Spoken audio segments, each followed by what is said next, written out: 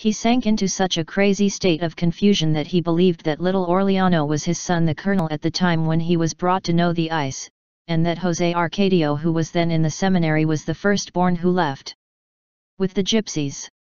He talked so much about the family that the children learned to organize imaginary visits with beings that had not only died for a long time, but had existed at different times. Sitting on the bed with her hair covered in ash and her face covered with a red scarf, Ursula was happy in the midst of the unreal kindred that the children described without omission of details, as if they had really known her.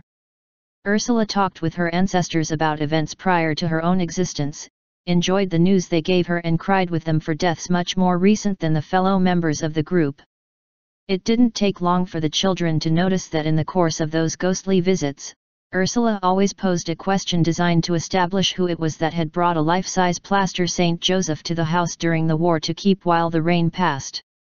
This is how Aureliano Segundo remembered the fortune buried somewhere that only Ursula knew, but the questions and cunning maneuvers that occurred to her were useless, because in the labyrinths of her delirium she seemed to retain a margin of lucidity to defend that secret, which he only had to reveal to whoever proved to be the true owner of the buried gold.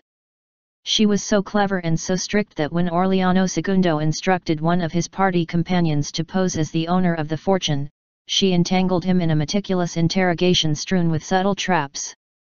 Convinced that Ursula would take the secret to the grave, Aureliano Segundo hired a team of excavators on the pretext that they would build drainage channels in the patio and in the backyard, and he himself probed the ground with iron bars and with all kinds of, of metal detectors, finding nothing that looked like gold in three months of exhaustive scans. Later he turned to Pilar Ternera in the hope that the decks would see more than the diggers, but she began by explaining that any attempt was useless as long as Ursula was not the one who cut the card. On the other hand, I confirmed the existence of the treasure, with the precision that there were 7,214 coins buried in three canvas sacks with copper wire straps, within a circle with a radius of 122 meters, taking as the center the bed of Ursula, but warned that he would not be found before it had just rained and the suns of three consecutive June turned the mudflats to dust. The profusion and meticulous vagueness of the data seemed to Aureliano Segundo so similar to spiritist fables that he insisted on his undertaking despite the fact that it was in August and it would have been necessary to wait at least three years to satisfy the forecast conditions. The first thing that astonished him, although at the same time his confusion increased, was the fact that it was exactly 122 meters from Ursula's bed to the backyard fence. Fernanda feared that he was as crazy as his twin brother when she saw him doing the measurements, and even worse when he ordered the digging crews to go one meter deeper into the trenches. Prey to an exploratory delirium comparable only to that of his great-grandfather when he sought the root of inventions, Aureliano Segundo lost the last remaining bags of fat, and the old the resemblance to the twin brother was again accentuated, not only by the flow of the figure, but by the distant air and the self-absorbed attitude. He did not take care of the children again. He ate at any hour, muddy from head to toe, and he did so in a corner of the kitchen, barely answering the occasional questions from Santa Sofia de la Piedad. Seeing him work in that way, as she had never dreamed he could, Fernanda believed that his recklessness was diligence, and that if greed was self-denial and that his stubbornness was perseverance, and her insides pricked her for the virulence with which she had railed against her indolence. But Aureliano Segundo was not at that time for merciful reconciliations. Thrown up to his neck in a swamp of dead twigs and rotting flowers, he turned the garden floor up and down after finishing the patio and backyard, and so deeply drilled the foundations of the house's eastern gallery that one night they woke up terrified by what seemed to be a cataclysm, both from the tremors and the terrifying underground creaking, and it was that three rooms were falling apart and a chill crevice had opened from the corridor to Fernanda's bedroom. Aureliano Segundo did not give up exploration for this reason. Even though the last hopes had been extinguished and the only thing that seemed to make any sense were the predictions of the decks, he reinforced the jagged foundation, patched the crack with mortar, and continued digging on the western side. It was still there the second week of the following June, when the rain began to subside and the clouds were lifting, and it was seen that at any moment it was going to clear. That's how it went. One Friday afternoon at 2 in the afternoon the world was lit up with a silly sun, red and rough as brick dust, and almost as cool as water, and it hadn't rained again for ten years. Macondo was in ruins.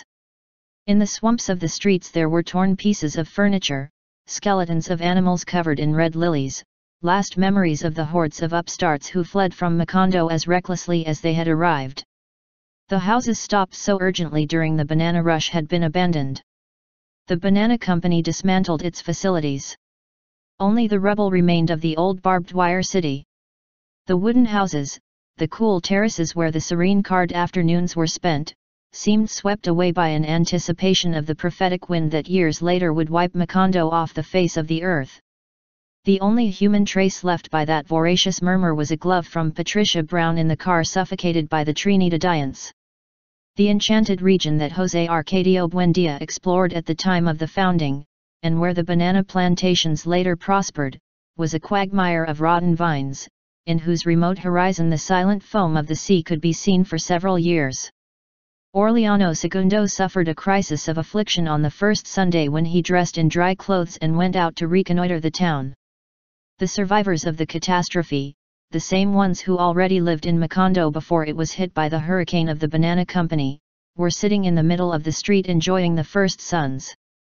They still had the green seaweed on their skin and the corner smell that the rain gave them, but deep down in their hearts they seemed satisfied to have recovered the town where they were born. The street of the Turks was once again the same as before, the one of the times when the Arabs with slippers and earrings who traveled the world exchanging macaws for trinkets, found in Macondo a good corner to rest from their millinery status as people migratory. Across the rain, the bazaar wares were falling apart, the open goods at the door were streaked with moss, the counters undermined by termites, and the walls eaten away by moisture, but the third-generation Arabs were sitting in the same place and in the same attitude as their parents and grandparents, taciturn, undaunted, invulnerable to time and disaster, as alive or as dead as they were after the insomnia plague and the colonel's 32 wars Aureliano Buendia. Their strength of mind was so amazing in front of the rubble of the gaming tables, the fried food stalls, the target shooting booths and the alley where dreams were interpreted and the future was guessed, that Aureliano Segundo asked them with his informality habitual of what mysterious resources they had used to avoid being shipwrecked in the storm, how the hell they had done not to drown, and one after another, from door to door, they returned a sly smile and a dreamy look, and all gave him. Without putting according to the same answer. Swimming. Petra Cotes was perhaps the only native who had the heart of an Arab. He had seen the last damage to his stables and stables washed away by the storm, but he had managed to keep the house standing. In the last year, he had sent urgent messages to Aureliano Segundo, and he had replied that he did not know when he would return home, but that in any case he would bring a drawer of gold coins to stone the bedroom. Then she had dug into his heart, seeking the strength that would allow him to survive the misfortune, and had found a reflective and just rage, with which he had sworn to restore the fortune squandered by the lover and just exterminated by the flood. It was such an unbreakable decision that Aureliano Segundo returned home eight months after the last errand, and found it green, disheveled, with sunken eyelids and skin frosted with scabies, but he was writing numbers on little pieces of paper, to make a raffle. Aureliano Segundo was astonished, and he was so emaciated and so solemn that Petra Cotes did not believe that the one who had returned to look for her was her lifelong lover, but her twin brother. You're crazy, he said. Unless you plan to raffle the bones. Then she told him to look into the bedroom, and Aureliano Segundo saw the mule. Her skin was glued to her bones, like the owner, but as alive and determined as she. Petra Cotes had fed her with her rage, and when she had no more herbs, no corn, no roots, she sheltered her in her own bedroom and fed her the calico sheets, the Persian rugs, the plush bedspreads, the cotton curtains. Velvet and the canopy embroidered with gold threads and silk tassels of the episcopal bed. Ursula had to make a great effort to fulfill her promise to die when it clears. The bursts of lucidity that were so rare during the rain became more frequent from August, when the arid wind began to blow, suffocating the rose bushes and petrifying the marshes, and finally scattering the scorching dust over Macondo. Forever covered the rusted zinc roofs and ancient almond trees. Ursula cried with pity when I discovered that for more than three years she had been left as a children's toy. She washed her painted face, got rid of the colorful strips, the dried lizards and toads, and the gimbals and ancient Arab necklaces that had hung all over her body, and for the first time since Amaranta's death she got out of bed without the help of anyone to rejoin family life. The spirit of her invincible heart guided her in the darkness. Those who noticed her stumbling and stumbled on her archangelic arm always raised at the height of the head, thought that she could hardly handle her body, but they still did not believe that she was blind. She did not need to see to realize that the flower beds, cultivated with such care since the first reconstruction, had been destroyed by the rain and washed away by the excavations of Aureliano Segundo, and that the walls and cement of the floors were cracked. The loose and discolored furniture, the unhinged doors, and the family threatened by a spirit of resignation and regret that would not have been conceivable in their time. Groping his way through the empty bedrooms he perceived the continual thunder of the termite boring into the woods, and the moth scissoring in the closets, and the devastating din of the huge fire ants that had thrived in the deluge and were undermining the foundations of the house. One day he opened the trunk of the saints, and had to ask Santa Sofia de la Piedad for help to get rid of the cockroaches that jumped from the interior, and that had already pulverized the clothes. It is not possible to live in this neglect, he said. At this rate we will end up being eaten by beasts. Since then he has not had a moment of rest. Up before dawn, she turned to whoever was available, including the children. He put the scant clothes that were still fit to be used in the sun, drove away the cockroaches with surprising rounds of insecticide, scraped the veins of termites on doors and windows, and smothered the ants in their burrows with quicklime. The restoration fever ended up taking her to the forgotten rooms. He had the room where Jose Arcadio Buendia had his head dried up looking for the philosopher's stone, cleared of rubble and cobwebs, put in order the silver workshop that had been turned over by the soldiers, and finally asked for the keys to Melquiades' room. To see what state it was in.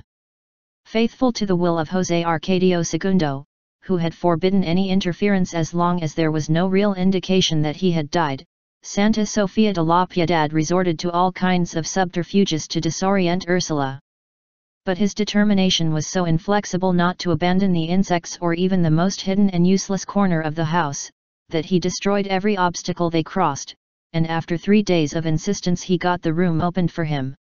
She had to hold on to the door so as not to be knocked down by the pestilence, but it didn't take her more than two seconds to remember that the 72 potties of the schoolgirls were stored there, and that on one of the first rainy nights a patrol of soldiers had searched the house looking for Jose Arcadio Segundo and had not been able to find him. Blessed be God! She exclaimed, as if she had seen everything. So much trying to instill in you good habits, so that you end up living like a pig. Jose Arcadio Segundo kept rereading the scrolls. The only things visible in the intricate tangle of hairs were the green llama striped teeth and immobile eyes. Recognizing the voice of the great-grandmother, he moved his head towards the door, tried to smile, and without knowing it repeated an old phrase of Ursula. What did I want, I murmur, time passes. Yes, said Ursula, but not that much. As she said it, she was aware that she was giving the same reply that she received from Colonel Aureliano Buendia in his sentenced cell, and once again she shuddered with the realization that time was not passing, as she had just admitted, but was spinning around in the round. But then, he didn't give resignation a chance either. He scolded Jose Arcadio Segundo as if he were a child, and insisted that he bathe and shave and lend him his strength to finish restoring the house. The simple idea of leaving the room that had given him peace terrified Jose Arcadio Segundo.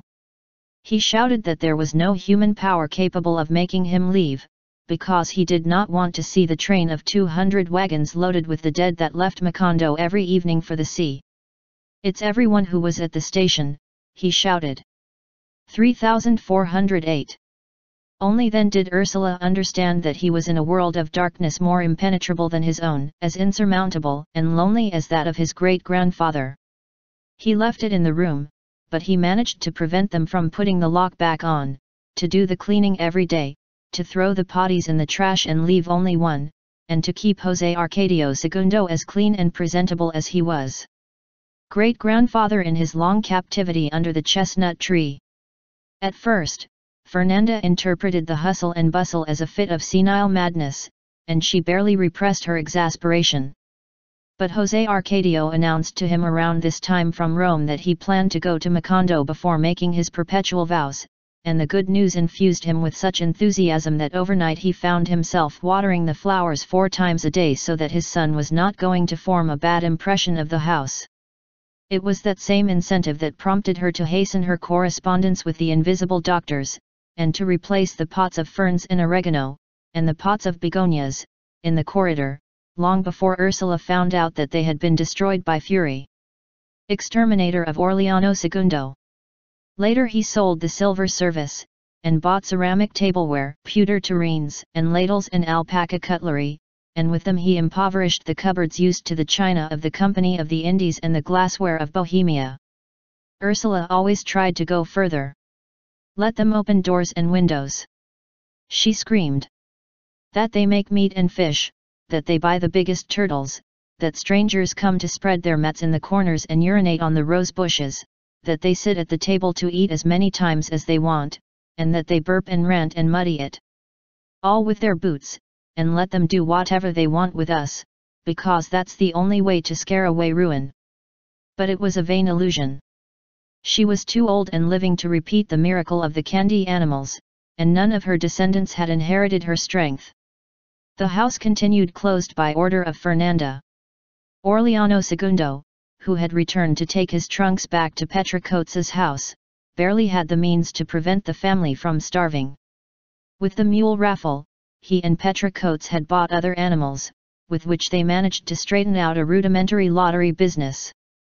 Aureliano Segundo walked from house to house, offering the tickets that he himself painted with colored inks to make them more attractive and convincing, and perhaps he did not realize that many bought them out of gratitude, and most out of compassion. However, even the most pious buyers acquired the opportunity to win a pig for 20 cents or a heifer for 32, and they were so enthusiastic about hope that on Tuesday night they overflowed the courtyard of Petra waiting for the moment when a child chosen at random will draw the winning number from the bag. That soon became a weekly fair, since from dusk tables of fritters and drinks stalls were set up in the patio, and many of the favored sacrificed the cattle right there on the condition that others put on the music and the brandy. So that without wanting to do so, Aureliano Segundo suddenly found himself playing the accordion again and participating in modest tournaments of voracity. These humble replicas of the parrandas of other days, served for Aureliano Segundo himself to discover how much his spirits had fallen and to what extent his masterful Cumbiambaro ingenuity had dried up. He was a changed man. The 120 kilos he had reached at the time when La Elefanta challenged him had been reduced to 78, his naive, bloated tortoise face had turned into an iguana, and he was always close to boredom and exhaustion. For Petra Cotes, however, he was never a better man than then, perhaps because she confused the compassion that he inspired in her with love, and the feeling of solidarity that misery had awakened in both of them the dismantled bed ceased to be a place of lawlessness and became a haven of confidences. Freed from the repeating mirrors that they had auctioned off to buy raffle animals, and from the concupiscent apricots and velvets that the mule had eaten, they stayed up very late with the innocence of two awake grandparents, taking the opportunity to draw accounts and transfer pennies the time that before wasted in wasted. Sometimes the first roosters would surprise them making and undoing little piles of coins, removing a little from here to put it there, so that this would be enough to satisfy Fernanda, and that for Amaranta Ursula's shoes, and this another for Santa Sofia de la pity that a suit had not been released since the days of noise, and this to have the drawer made if Ursula died, and this for the coffee that rose a penny per pound every three months, and this for the sugar that was sweetening less and less, and this for the firewood that was still wet from the flood, and this for the paper and the colored ink on the banknotes, and that which was left over to amortize the value of the April calf, from which they miraculously saved the leather, because it gave him symptomatic carbuncle when almost all the numbers of the raffle were sold. Those masses of poverty were so pure that they always destined the best part for Fernanda, and they never did it out of remorse or charity, but because her well-being mattered more to them than their own. What was really happening to them, although neither of them realized it, was that they both thought of Fernanda as the daughter they wanted to have and did not have, to the point that on one occasion they resigned themselves to eating porridge for three days so she could buy a Dutch tablecloth.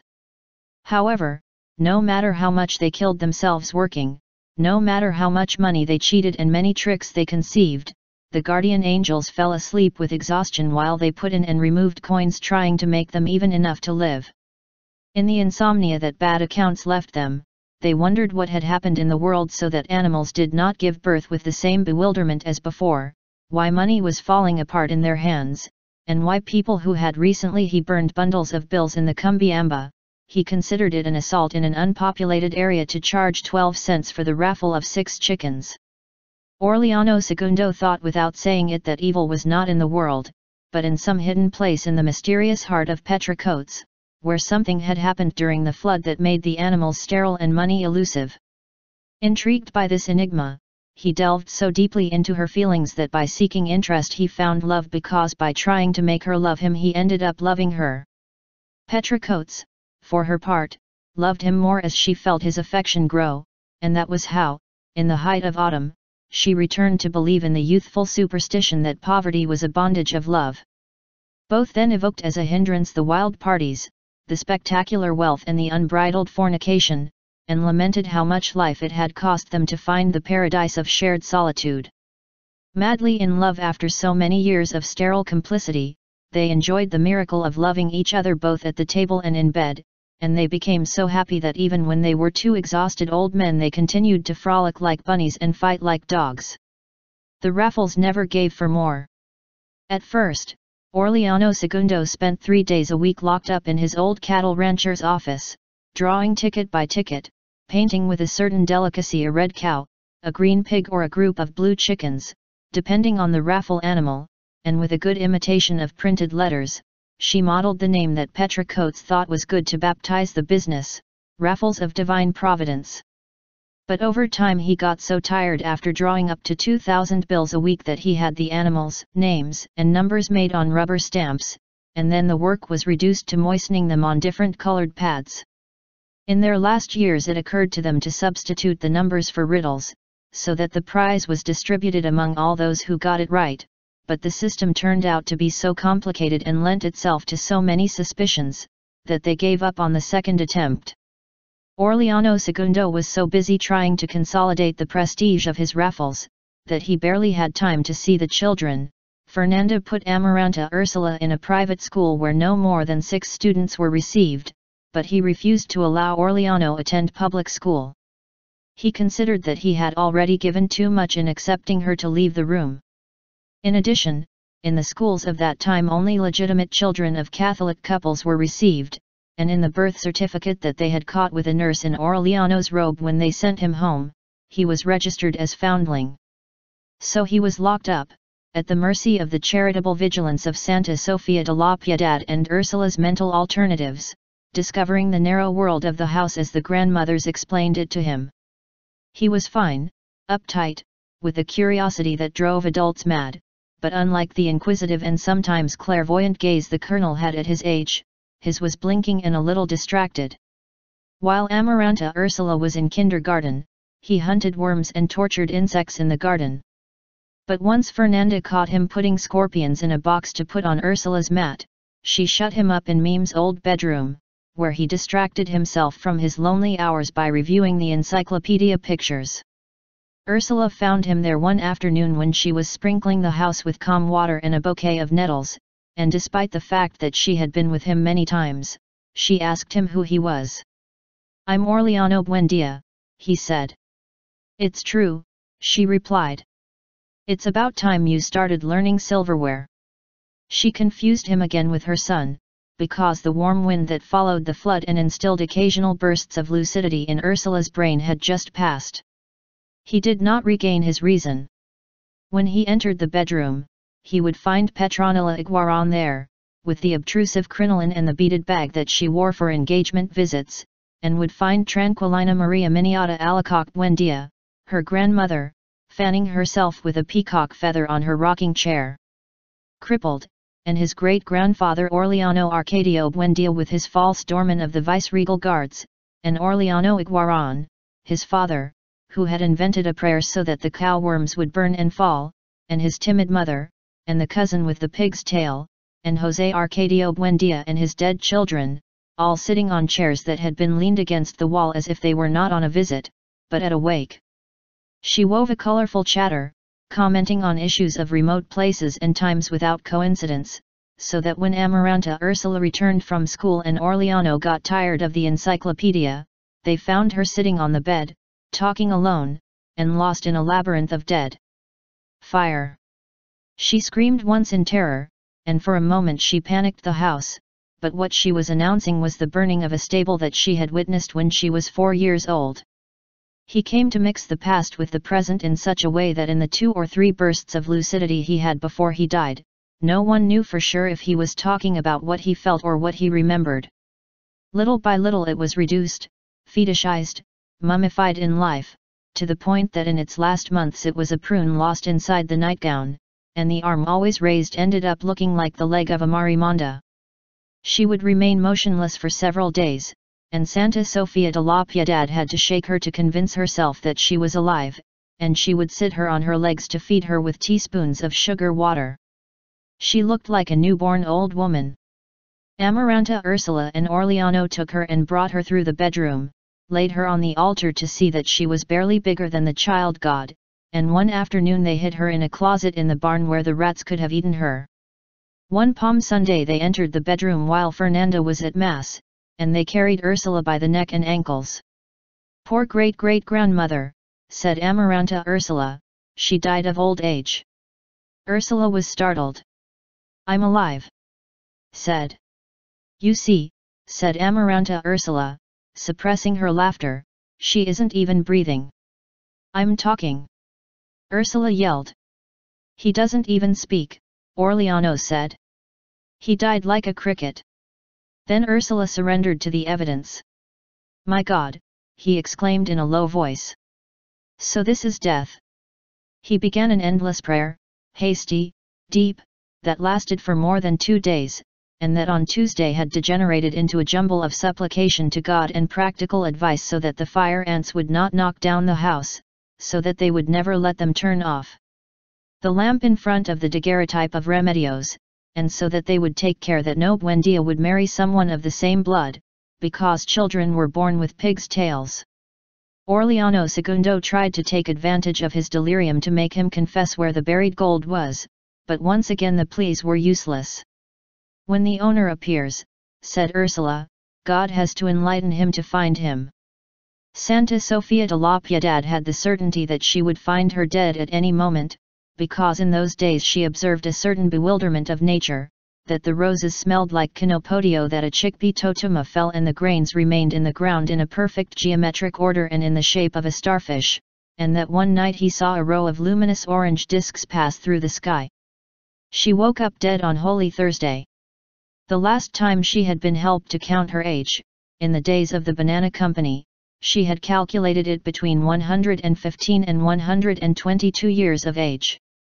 They buried her in a little box that was barely larger than the basket in which Aureliano was carried, and very few people attended the funeral, partly because not many remembered her, and partly because it was so hot that noon that the disoriented birds crashed like buckshot against the walls and broke the metal screens of the windows to die in the bedrooms. At first it was believed to be a plague. Housewives were exhausted from sweeping dead birds, especially at siesta time, and men threw them into the river by cartloads.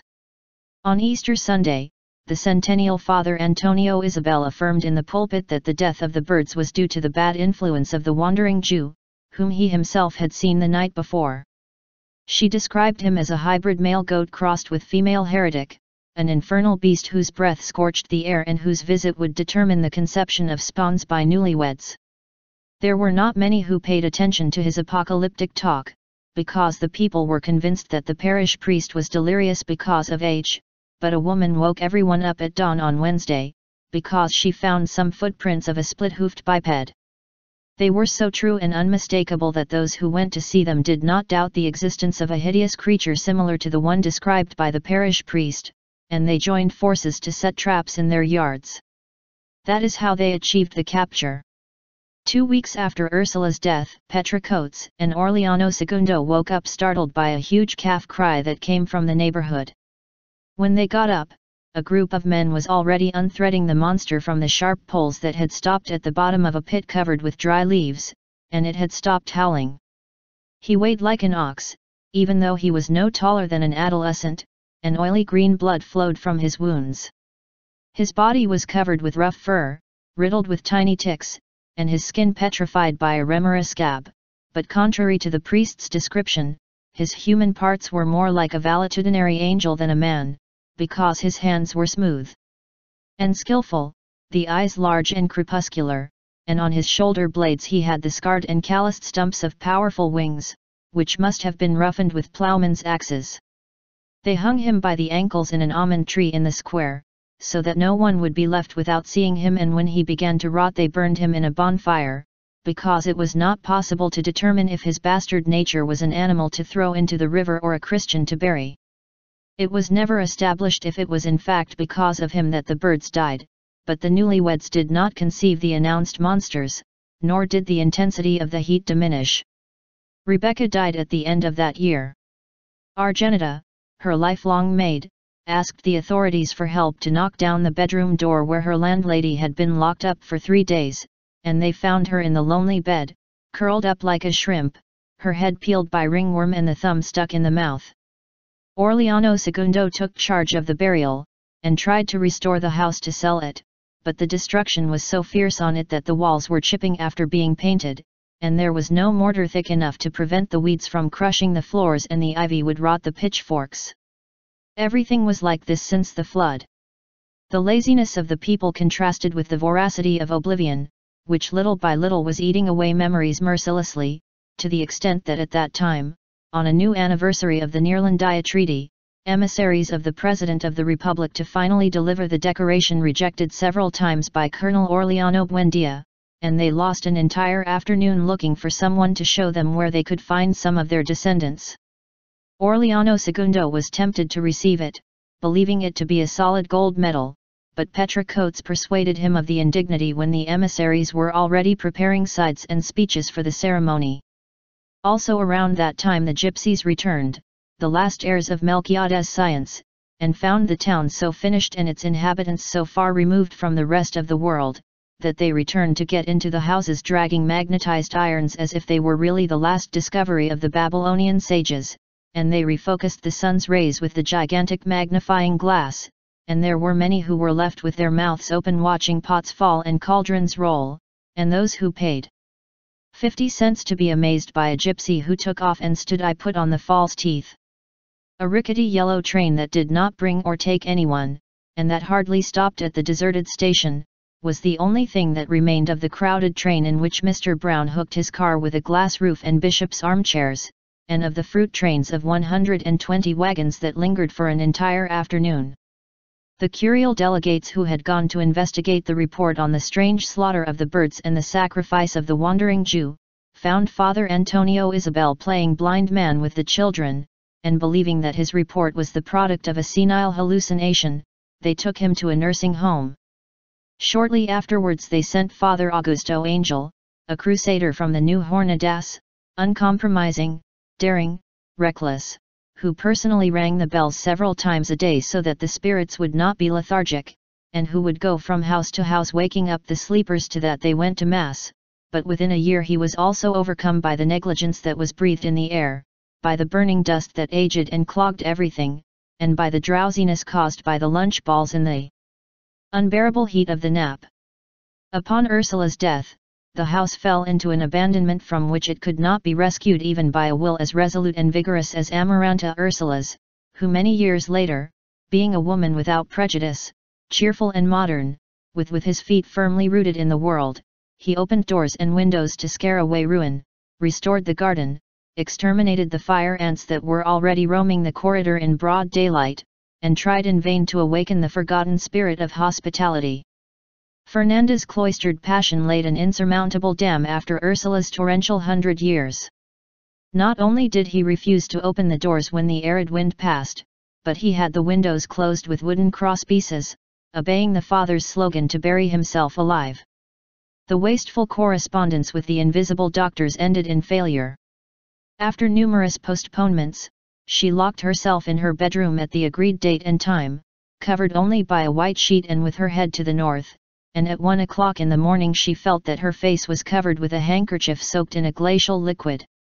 When she woke up, the sun was shining on the window and she had a barbarous arched seam that started at the groin and ended at the sternum.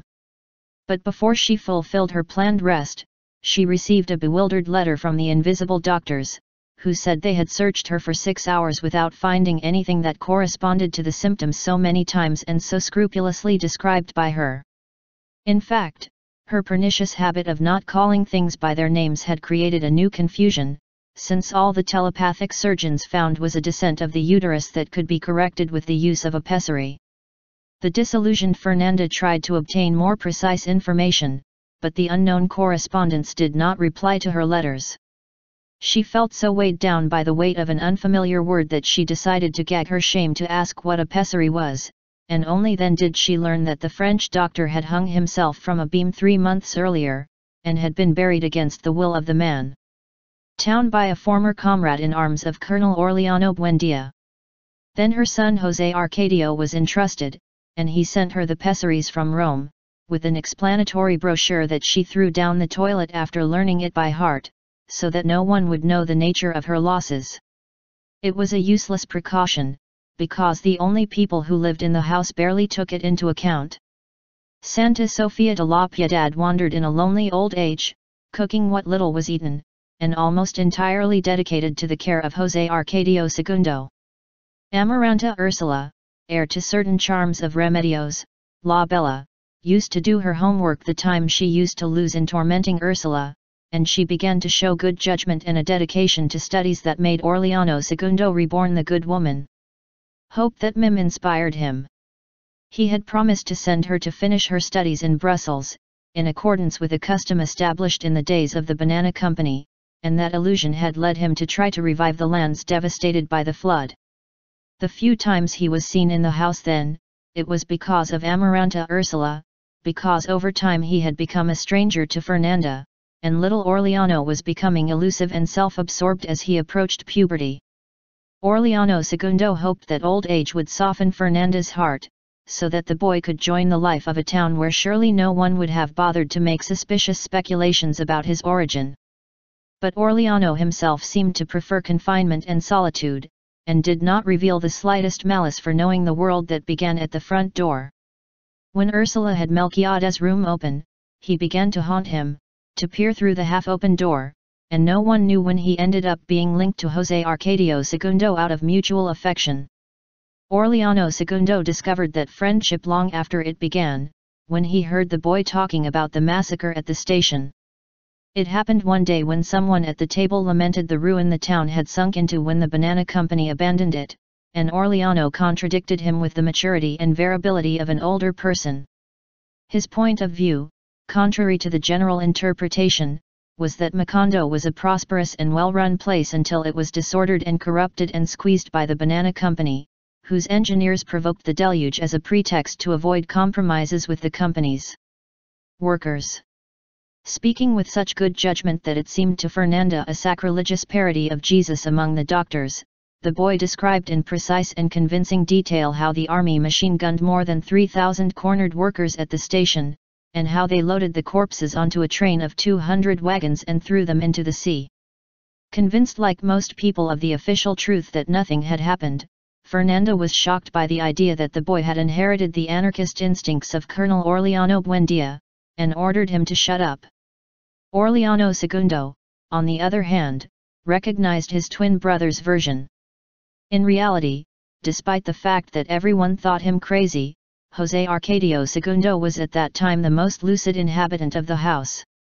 He taught little Aureliano to read and write, started him in the study of parchments, and instilled in him such a personal interpretation of what the Banana Company meant to Macondo that many years later, when Aureliano joined the world, he had to think that he told a hallucinated version, because it was radically contrary to the false one that historians had admitted, and enshrined in school textbooks. In the secluded little room, where the arid wind, the dust, and the heat never reached, they both remembered the atavistic vision of an old man in a raven's hat who spoke of the world behind the window, many years before they were born. Both discovered at the same time that it was always March there and it was always Monday, and then they understood that Jose Arcadio Buendia was not as crazy as the family had said, but that he was the only one who had had enough lucidity to glimpse the truth that also the time suffered stumbling and accidents, and could therefore splinter and leave an eternal fraction in a room. Jose Arcadio Segundo had also managed to classify the cryptic letters on the scrolls. He was sure that they corresponded to an alphabet of 47 to 53 characters, that separated they looked like little spiders and ticks, and that in Melquiades's exquisite handwriting they looked like pieces of clothing put to dry on a wire. Aureliano remembered having seen a similar table in the English Encyclopedia, so he took it to the room to compare it with that of Jose Arcadio Segundo. They were the same, indeed. Around the time he came up with the guessing lottery, Aureliano Segundo woke up with a lump in his throat, as if he were suppressing the urge to cry. Petra Cotes interpreted it as one of the many disturbances caused by the bad situation, and every morning for more than a year, she touched his palate with a honey swab and gave him radish syrup. When the lump in her throat became so oppressive that it was difficult for her to breathe, Aureliano Segundo visited Pilar Ternera in case she knew of any herbs for relief. The unwavering grandmother, who had reached 100 years in charge of a clandestine brothel, did not trust therapeutic superstitions, but consulted the matter with the cards. He saw the golden horse with its throat wound by the steel of the jack of swords, and deduced that Fernanda was trying to get the husband back to the house by means of the discredited system of driving pins into his portrait, but that it had caused a tumor. Internal by a clumsy knowledge of his bad arts. As Aureliano Segundo had no other portraits other than those of the wedding, and the copies were complete in the family album, he continued to search the house for the carelessness of the wife, and finally found half a dozen pessaries in the back of the wardrobe. Their original boxes. Believing that the red rubber rings were objects of sorcery, he put one in his pocket for Pilar Ternera to see. She could not determine its nature, but it seemed so suspicious to her that she had the half dozen taken anyway and burned it in a bonfire that she lit in the courtyard. To ward off Fernanda's alleged curse, he told Aureliano Segundo to wet a broody hen and bury it alive under the chestnut tree, and he did so in such good faith that when he finished hiding the removed earth with dry leaves, he already felt that he breathed better. For her part, Fernanda interpreted the disappearance as a reprisal by the invisible doctors, and a drawstring pouch was sewn on the inside of her camisole, where she kept the new pessaries that her son sent her. Six months after the burial of the hen, Aureliano Segundo woke up at midnight with a fit of coughing, and feeling that he was being strangled from the inside with crab claws. It was then that he realized that no matter how many magical pessaries he destroyed and many spell hens he soaked, the only sad truth was that he was dying. He didn't tell anyone. Tormented by the fear of dying without sending Amaranta Ursula to Brussels, she worked as she had never done, and instead of one she held three weekly raffles. From very early on you could see him roaming the town, even in the most remote and miserable neighborhoods, trying to sell the tickets with an anxiety that was only conceivable in a dying person. Here is divine providence, he proclaimed. Don't let her go, it only comes once in a hundred years. He made moving efforts to appear cheerful, friendly, talkative, but it was enough to see his sweat and paleness to know that he could not with his soul. Sometimes he would detour into vacant lots, where no one would see him, and he would sit for a moment to rest from the pincers that were tearing him apart from the inside. Still at midnight he was in the neighborhood of Tolerance, trying to comfort the lonely women who were sobbing next to the Victrolas with good luck preaching. This number hasn't been out for four months, he would tell them, showing them the tickets. Don't let it go, life is shorter than you think. They ended up losing respect for him, making fun of him, and in his last months they no longer called him Don Aureliano, as they had always done, but instead called him Don Divina Providencia to their own face. His voice was filling with false notes, he was unsteady and ended up fading into a dog's snore, but he still had the will not to let the expectation for the prizes in the courtyard of Petra Cotes wane. However, as she lost her voice and realized that in a short time she could no longer bear the pain, she realized that it was not with raffling pigs and goats that her daughter would arrive in Brussels, so she conceived the idea of make the fabulous raffle of the lands destroyed by the flood, which could well be restored by whoever had the capital. It was such a spectacular initiative that the mayor himself lent himself to announce it with one side, and companies were formed to buy tickets for 100 pesos each, which were sold out in less than a week. On the night of the raffle, the winners threw a spectacular party, comparable only to those of the good old days of the Banana Company, and Aureliano Segundo played the forgotten songs of Francisco El Hombre on the accordion for the last time, but he could no longer sing them. Two months later, Amaranta Ursula went to Brussels. Aureliano Segundo gave him not only the money from the extraordinary raffle, but also the money that he had managed to save in the previous months, and the very little he obtained from the sale of the pianola, the harpsichord, and other disgraced corrados. According to his calculations, that fund was enough for his studies, so only the value of the return ticket remained pending. Fernanda opposed the trip until the last moment, scandalized by the idea that Brussels was so close to the doom of Paris, but was reassured by a letter Father Angel gave her for a pension for young Catholics run by nuns, where Amaranta Ursula promised to live until the end of her studies. In addition, the parish priest got her to travel in the care of a group of Franciscan women who were going to Toledo, where they hoped to find trustworthy people to send her to Belgium. While the hasty correspondence that made this coordination possible was advancing, Aureliano Segundo, helped by Petra Cotes, took care of Amaranta Ursula's luggage. The night when they prepared one of Fernanda's wedding trunks, things were so well arranged that the student knew by heart which were the corduroy suits and slippers with which she had to make the crossing of the Atlantic, and the blue cloth coat with copper buttons, and the cordovan shoes with which he had to disembark. He also knew how he should walk so as not to fall into the water when he got on board the platform, that at no time should he separate from the nuns or leave the cabin other than to eat, and that for no reason should he answer the questions asked. Acquaintances of any sex made him on the high seas. He carried a bottle with drops for seasickness and a notebook written in his own hand by Father Angel, with six prayers to ward off the storm. Fernanda made a canvas belt for him to hold the money, and showed him how to wear it tight to the body, so that he would not have to take it off even to sleep. She tried to give her the gold potty washed with bleach and disinfected with alcohol, but Amaranta Ursula rejected it for fear that her classmates would make fun of her. A few months later, at the time of death, Aureliano Segundo had to remember her as he saw her the last time, trying unsuccessfully to get off the dusty glass of the second-class carriage, to listen to Fernanda's latest recommendations.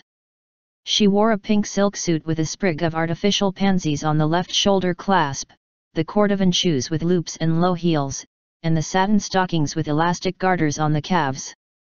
She had a small body, long loose hair, and lively eyes that Ursula had at her age, and the way she said goodbye without crying but without smiling revealed the same strength of character.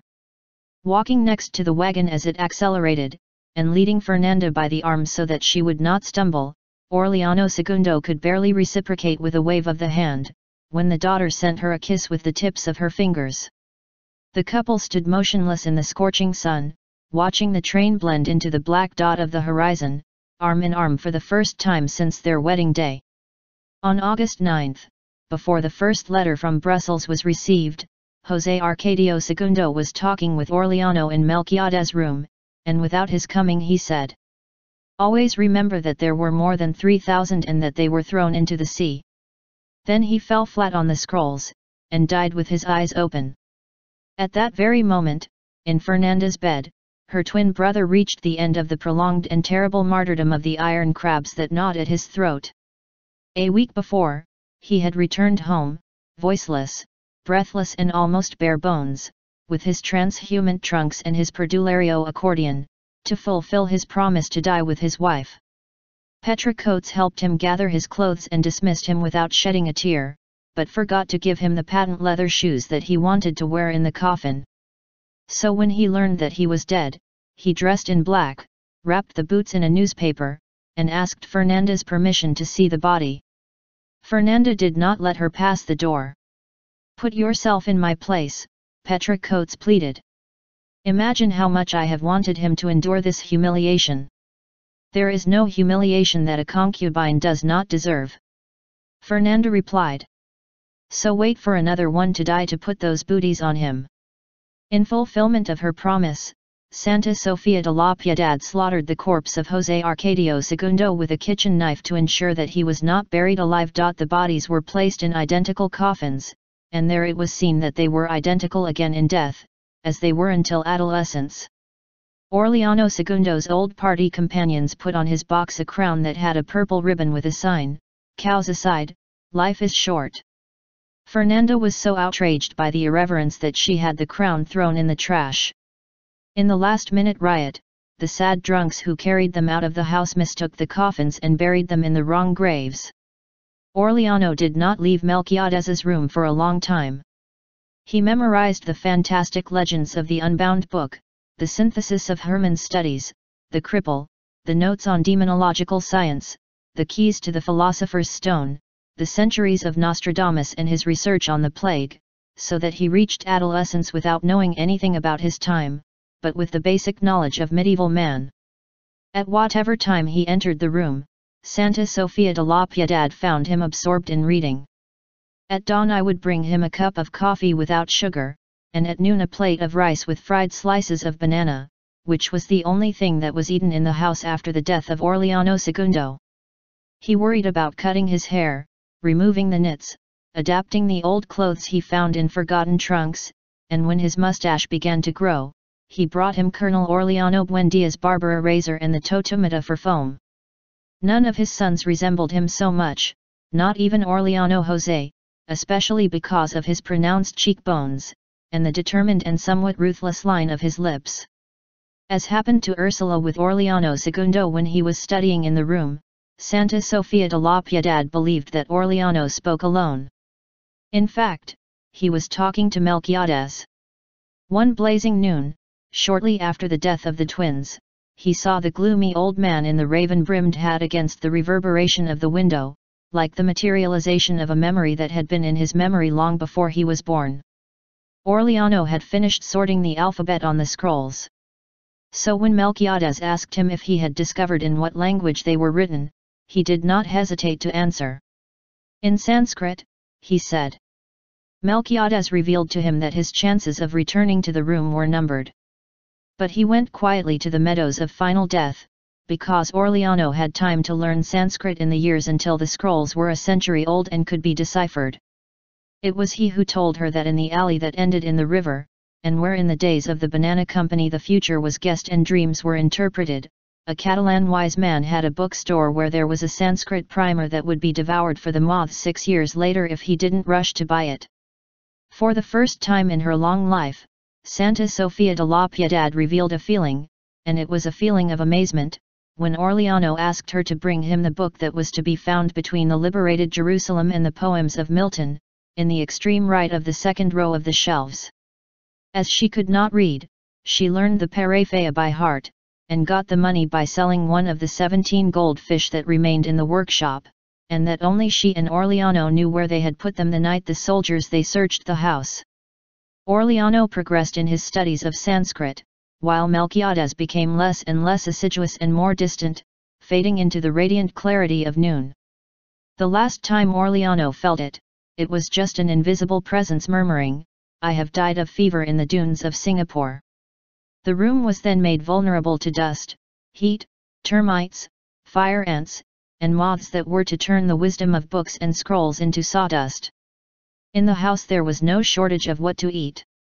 The day after Aureliano Segundo's death, one of the friends who had worn the crown with the irreverent inscription offered to pay Fernanda some money that she owed to her husband. From then on, an errand boy carried a basket with things to eat every Wednesday, which would last well for a week. No one ever knew that those supplies were sent by Petra Cotes, with the idea that continued charity was a way to humiliate those who had humiliated her. However, the resentment dissipated much sooner than she expected, and so she continued to send the food out of pride and finally out of compassion. Several times, when she lacked the courage to sell tickets and people lost interest in the raffles, she did not eat for Fernanda to eat, and she did not stop fulfilling the commitment until she saw her funeral pass. For Santa Sofia de la Piedad the reduction of the inhabitants of the house should have been the rest to which she was entitled after more than half a century of work.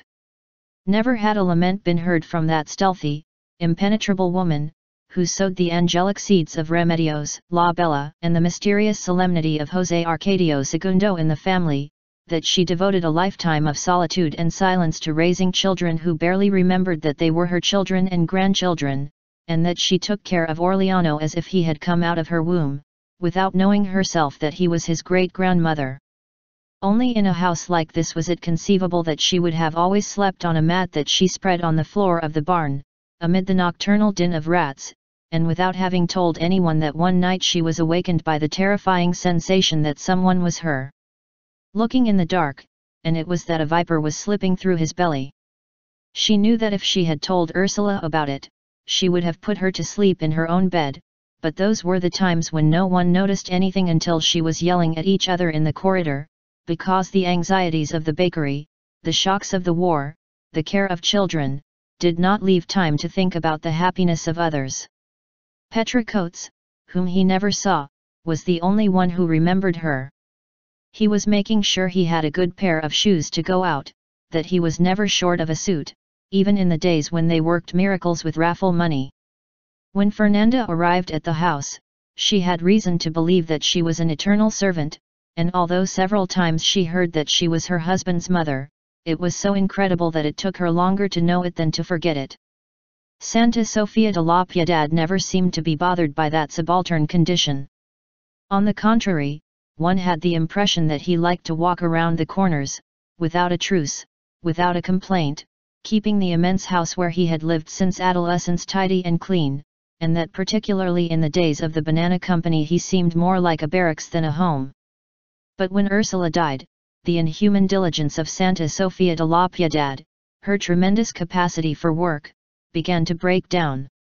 It was not just that she was old and exhausted, but that the house fell overnight into a crisis of senility. A tender moss crawled up the walls. When there was no longer a bare spot in the patios, the undergrowth broke the concrete of the corridor underneath, cracked it like glass, and the same little yellow flowers came out through the cracks that Ursula had found almost a century before in the glass where the Melquiades false teeth. Without time or resources to prevent the outrages of nature, Santa Sofia de la Piedad spent the day in the bedrooms, scaring away the lizards that would come back at night. One morning he saw the fire ants leave the undermined foundations, crossed the garden, climbed the railing where the begonias had turned earth-colored, and entered the back of the house.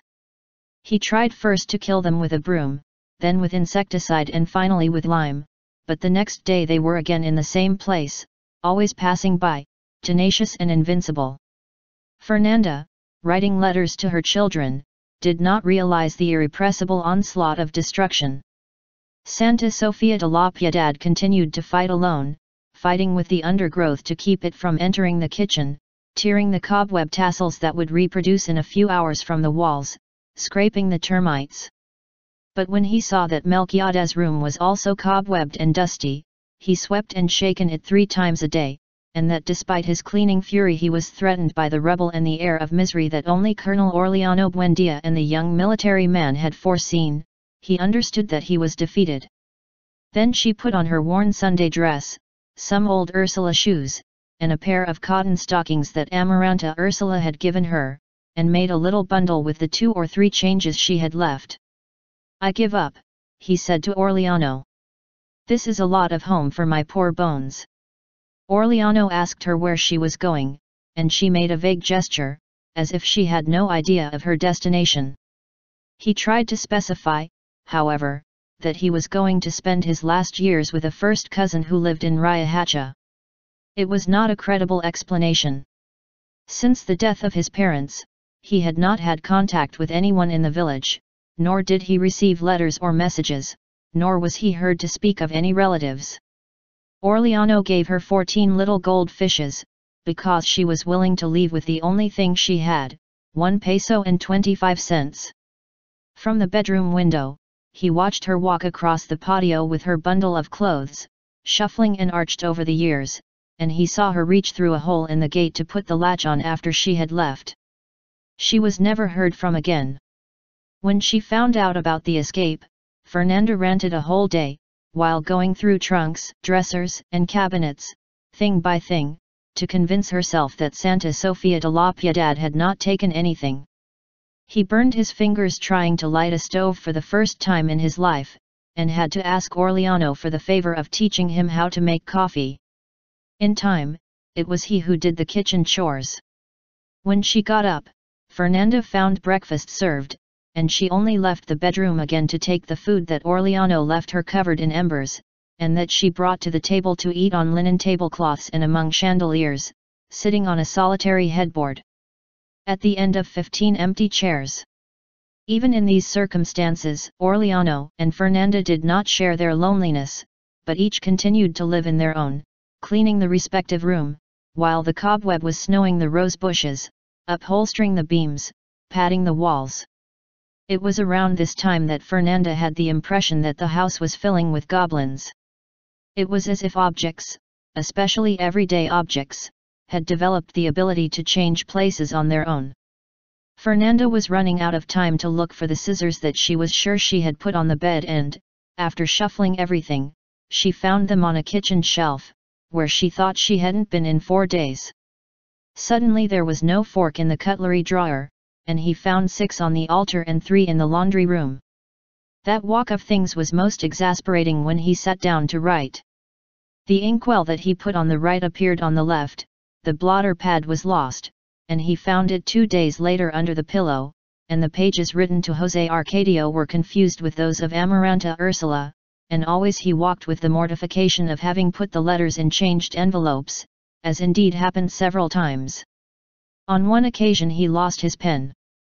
Fifteen days later, the postman who had found it in his bag returned it to him, and he was looking for the owner of the house at home.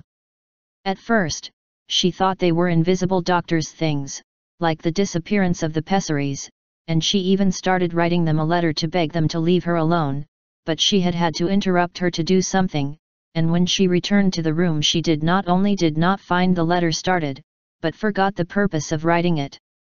For a time he thought it was Aureliano.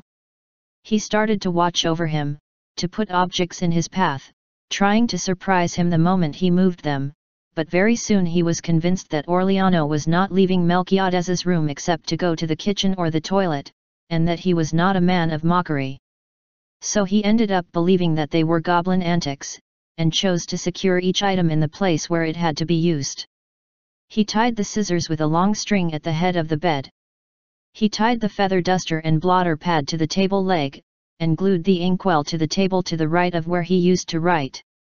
The problems were not solved from one day to the next, because after a few hours of sewing and the blade of the scissors was not enough to cut, as if the elves were reducing it. The same thing happened to him with the whip of the pen, and even with his own arm, which shortly after he was writing did not reach the inkwell. Neither Amaranta Ursula, in Brussels, nor Jose Arcadio, in Rome, ever found out about these insignificant misfortunes. Fernanda told them that she was happy, and in reality she was, precisely because she felt liberated from all commitment, as if life had dragged her back to her parents' world, where she did not suffer with daily problems because they were resolved beforehand in the imagination.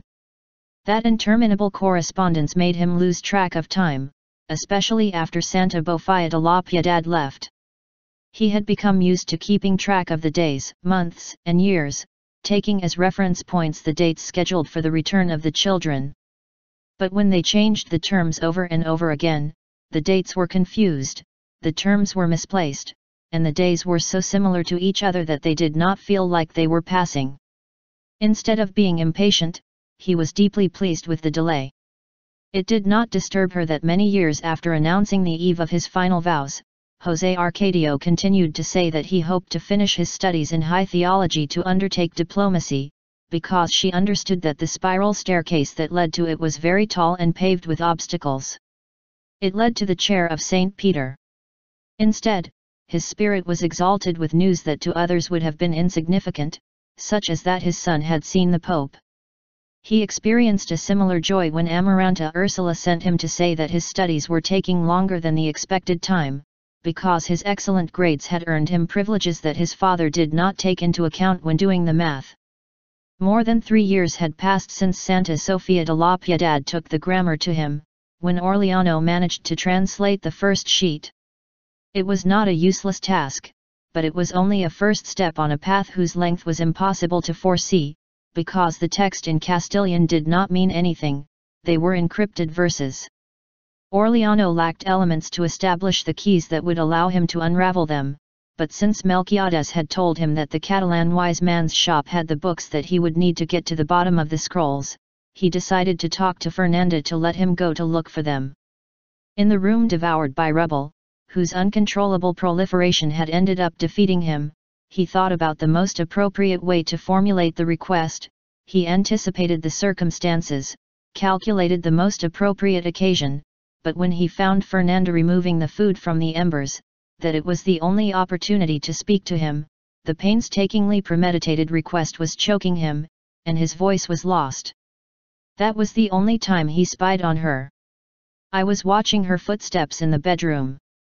He heard her go to the door to receive her children's letters and deliver hers to the postman, and he listened late into the night the hard and passionate stroke of the pen on the paper, before hearing the noise of the switch and the murmur of prayers in the dark. Only then did he fall asleep, trusting that the next day would give him the expected opportunity.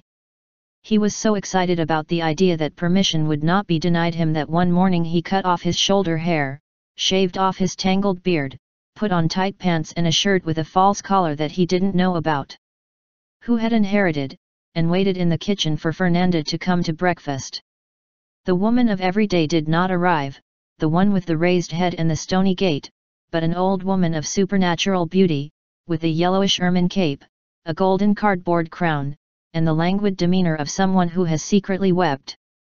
In fact, since she found it in Aureliano Segundo's trunks, Fernanda had worn the moth-eaten queen's dress many times. Anyone who had seen her in front of the mirror, ecstatic in her own monarchical gestures, might have thought that she was crazy. But it wasn't. Merely, he had turned royal outfits into a memory machine. The first time she put them on, she couldn't prevent a knot from forming in her heart and her eyes filling with tears, because at that moment she again perceived the smell of shoe polish from the military boots who went to look for her. Her home to make her queen, and her soul crystallized with nostalgia for lost dreams. She felt so old, so finished, so distant from the best hours of her life, that she even longed for the ones she remembered as the worst, and only then did she discover how much the oregano blasts were missing in the corridor, and the steam from the rose bushes outside. Dusk, and even the beastly nature of the upstarts. His heart of caked ash that had resisted without failures the most accurate blows of everyday reality, crumbled at the first attacks of nostalgia. The need to feel sad became a vice as the years ravaged her. He became human in solitude. However, the morning she entered the kitchen and found a cup of coffee offered to her by a pale, bony adolescent with a hallucinatory gleam in his eyes, she was ripped open by ridicule. Not only did he deny her permission, but he has since loaded the house keys into the bag where he kept the unused pessaries. It was a useless precaution, because if Aureliano had wanted to, he could have escaped and even returned home without being seen. But the prolonged captivity, the uncertainty of the world, the habit of obeying, had dried the seeds of rebellion in his heart. So he went back to his closure, going through and going over the scrolls, and listening to Fernanda's sobs in the bedroom late into the night. One morning she went as usual to light the stove, and found in the extinguished ashes the food that she had left for her the day before. Then he looked into the bedroom, and saw her lying on the bed, covered with the ermine cloak, more beautiful than ever, and with her skin turned into an ivory shell. Four months later, when Jose Arcadio arrived, he found it intact. It was impossible to conceive of a man more like his mother. He wore a mournful taffeta suit, a stiff, round-necked shirt, and a thin silk ribbon with a bow in place of the tie. He was livid, languid, with a stunned look and weak lips. The black, polished and straight hair, parted in the center of the skull by a straight and bloodless line, had the same false appearance of the hair of the saints. The shadow of the stubbled beard on the paraffin face seemed a matter of conscience. His hands were pale, with green veins and parasitic fingers, and a solid gold ring with a round sunflower opal on the left index finger. When he opened the door to Aureliano Street for him, he would not have had to guess who he was to realize that he had come from far away. The house was impregnated as he passed by the fragrance of flowery water that Ursula put on his head when he was a child, to be able to find it in the darkness.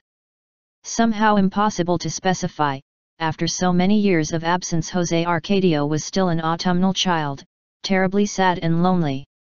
He went directly to his mother's bedroom, where Aureliano had vaporized mercury for four months in the athanor of his grandfather's grandfather, to preserve the body according to the Melquiades formula.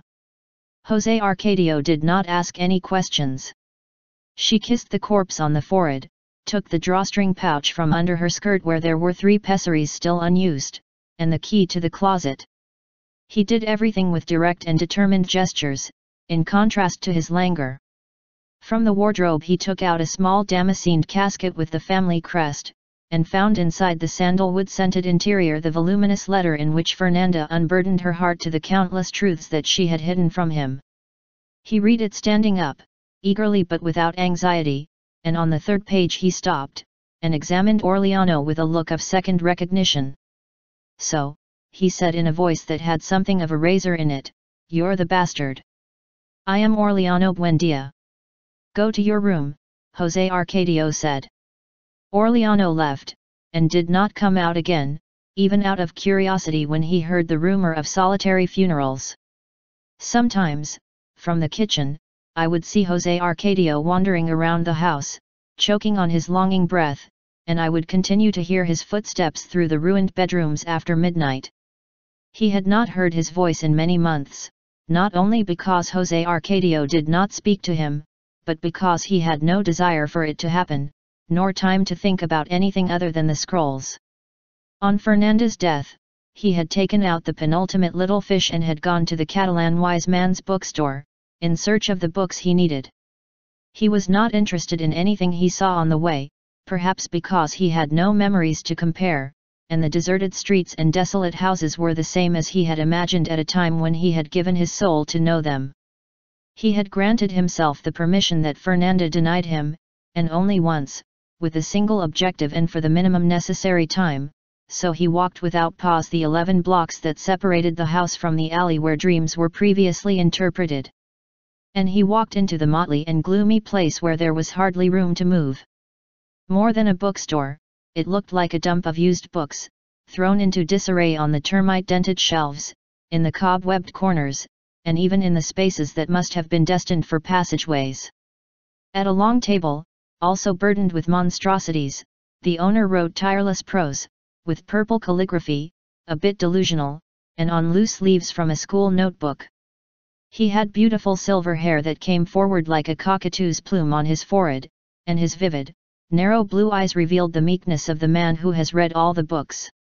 He was in his underpants, drenched in sweat and did not ignore the writing to see who had arrived. Aurelian had no difficulty in rescuing the five books he was looking for from that fabled disorder, since they were in the exact place that Melquiades had indicated. Without saying a word, he handed them and the goldfish to the Catalan sage, and he examined them, and his eyelids twitched like two clams. You must be crazy, he said in his language, shrugging his shoulders, and handed Aureliano the five books and the little fish. Take it away, he said in Spanish. The last man to read those books must have been Isaac the Blind, so think carefully about what you do. Jose Arcadio restored Meme's bedroom, had the velvet curtains and the damask canopy of the vice-regal bed cleaned and patched, and put the abandoned bathroom back into service, whose cement pool was blackened by a fibrous and rough cream. It was to these two places that his empire of junk, of worn-out exotic goods, of fake perfumes and cheap jewels was reduced. The only thing that seemed to hinder him in the rest of the house were the saints on the domestic altar, which he burned to ash one afternoon in a bonfire that he lit in the courtyard. He slept until after 11. She would go to the bathroom wearing a frayed golden dragon tunic and yellow tassel slippers, and there she would officiate a rite that, due to its parsimony and duration, was reminiscent of that of Remedios, the beauty. Before bathing, he scented the pool with the salts that he carried in three basted pots. He did not do ablutions with the totuma, but plunged into the fragrant waters, and remained up to two hours floating on his back, numbed by the freshness and by the memory of Amaranta. A few days after arriving, she abandoned the taffeta dress, which in addition to being too hot for the people was the only one she had, and changed it for tight pants, very similar to those worn by Pietro Crespi in dance classes. And a silk shirt woven with the live worm, and with his initials embroidered on the heart. Twice a week he washed the complete change in the pool, and kept the tunic until it was dry, as he had nothing else to wear. He never ate in the house. He went out into the street when the heat of his siesta eased, and he did not return until late at night. Then he continued his anguished wandering, breathing like a cat, and thinking of Amaranta. She, and the ghastly gaze of the saints in the glow of the night lamp, were the two memories he kept of the house. Many times, in the hallucinatory Roman August, he had opened his eyes in the middle of his sleep, and he had seen Amaranta emerging from a Brocatel marble pool, with her lace skirt and bandage in hand, idealized by the anxiety of exile. Unlike Aureliano Jose, who tried to smother that image in the bloody swamp of war, he tried to keep it alive in a quagmire of lust, while entertaining his mother with the endless hoax of the pontifical vocation. Neither he nor Fernanda ever thought that their correspondence was an exchange of fantasies. Jose Arcadio, who left the seminary as soon as he arrived in Rome, continued to nurture the legend of theology and canon law, so as not to endanger the fabulous inheritance of which his mother's delusional letters spoke to him, and which was to rescue him. Of the misery and squalor he shared with two friends in a garret in Trastevere. When he received the last letter from Fernanda, dictated by a foreboding of impending death, he packed the last of the wastes of his false splendor into a suitcase, and crossed the ocean into a cellar where emigrants huddled like slaughterhouse cattle, eating cold macaroni and wormy cheese. Before reading Fernanda's will, which was nothing more than a meticulous and belated recapitulation of misfortunes, the dilapidated furniture and undergrowth of the corridor had already told her that she was in a trap from which she would never emerge, forever exiled from the diamond light and the immemorial air of the Roman spring. In the exhausting insomnia of asthma, he measured and remeasured the depth of his misfortune, while he reviewed the gloomy house where Ursula's senile fuss infused him with fear of the world. To be sure not to lose him in the dark, she had assigned him a corner of the bedroom, the only one where he could be safe from the dead that had roamed the house since dusk. Whatever bad thing you do, Ursula told him, the saints will tell me. The pale nights of his childhood were reduced to that corner, where he remained motionless until bedtime, sweating with fear on a stool, under the watchful and icy gaze of the holy accusers. It was a useless torture, because by that time he was already terrified of everything around him, and he was prepared to be scared of everything he encountered in life, the women in the street, who spoiled the blood, the women of the house, who gave birth to pig-tailed children, fighting cocks, which caused the deaths of men and pangs of conscience for the rest of their lives, firearms, which just by touching them condemned 20 years of war, the ill-advised enterprises, which only led to disappointment and madness, and everything, in short, everything that God had created with his infinite goodness, and that the devil had perverted. When he awoke, crushed by the nightmare lathe, the clarity of the window and the caresses of Amaranta in the pool, and the delight with which she dusted him between his legs with an acorn of silk, freed him from terror. Even Ursula was different under the radiant light of the garden, because there he did not speak to her about terrifying things, but rubbed her teeth with coal dust so that she would have the radiant smile of a pope, and cut and polished her nails to that the pilgrims who came to Rome from all over the world were amazed at the neatness of the pope's hands when he gave them the blessing, and he combed it like a pope, and soaked it with flowery water so that his body and clothes had the fragrance of a pope. In the courtyard of Castel Gandolfo he had seen the Pope on a balcony, delivering the same speech in seven languages to a crowd of pilgrims, and the only thing that had indeed caught his attention was the whiteness of his hands, which seemed macerated in bleach, the dazzling glow of her summer clothes, and her hidden breath of cologne. Almost a year after returning home, having sold the silver candlesticks and the heraldic pot that at the moment of truth only had gold inlays on the shield to eat, Jose Arcadio's only distraction was to collect children in town. For them to play in the house. He would show up with them at nap time, and make them jump rope in the garden, sing in the hallway, and do ropes on the living room furniture, while he walked between the groups giving lessons in good behavior.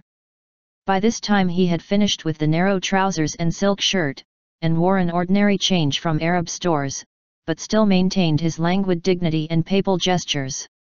The children took over the house as Meme's companions did in the past. Until late at night they could be heard chattering and singing and dancing with their feet, so that the house seemed like a boarding school without discipline. Aureliano did not worry about the invasion as long as they did not go to disturb him in Melquiades' room. One morning, two children pushed open the door, and were shocked at the sight of the shaggy, hairy man still deciphering the scrolls on the work table. They did not dare to enter, but they continued to haunt the room. They peeked whispering through the cracks, threw live animals through the skylights, and on one occasion they nailed the door and window on the outside, and Aureliano needed half a day to force them. Amused by the impunity of their antics, four children entered the room another morning, while Aureliano was in the kitchen, ready to destroy the scrolls. But as soon as they seized the yellowish sheets, an angelic force lifted them from the ground, and kept them suspended in the air, until Aureliano returned and snatched the scrolls from them. Since then they have not bothered him again. The four older children, who wore shorts even though they were already in their teens, took care of Jose Arcadio's personal appearance. They arrived earlier than the others, and spent the morning shaving him, massaging him with hot towels, cutting and polishing his fingernails and toenails, perfuming him with flowery water. On several occasions they got into the pool, to soap him from head to toe, while he floated on his back, thinking of Amaranta. Then they dried him, powdered his body, and dressed him. One of the children, who had curly blonde hair and pink glass eyes like rabbits, used to sleep in the house. The ties that bound him to Jose Arcadio were so strong that he accompanied him in his asthmatic insomnia, without speaking, wandering with him through the house in darkness. One night they saw in the bedroom where Ursula slept a yellow glow through the crystallized concrete as if an underground sun had turned the bedroom floor into stained glass. You don't have to turn on the spotlight. It was enough for them to lift the broken plates from the corner where Ursula's bed had always been, and where the glow was most intense, to find the secret crypt that Aureliano Segundo got tired of searching in the delirium of the excavations. There were the three canvas sacks closed with copper wire and, inside them, the 7,214 doubloons of four, which continued to glow like embers in the dark. The discovery of the treasure was like a deflagration. Instead of returning to Rome with untimely fortune, which was the dream matured in misery, Jose Arcadio turned the house into a decadent paradise.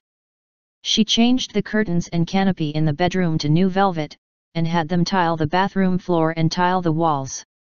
The dining room cupboard was filled with sugared fruits, hams, and pickles, and the disused barn reopened to store wines and spirits that Jose Arcadio himself removed at the railway station, in boxes marked with his name.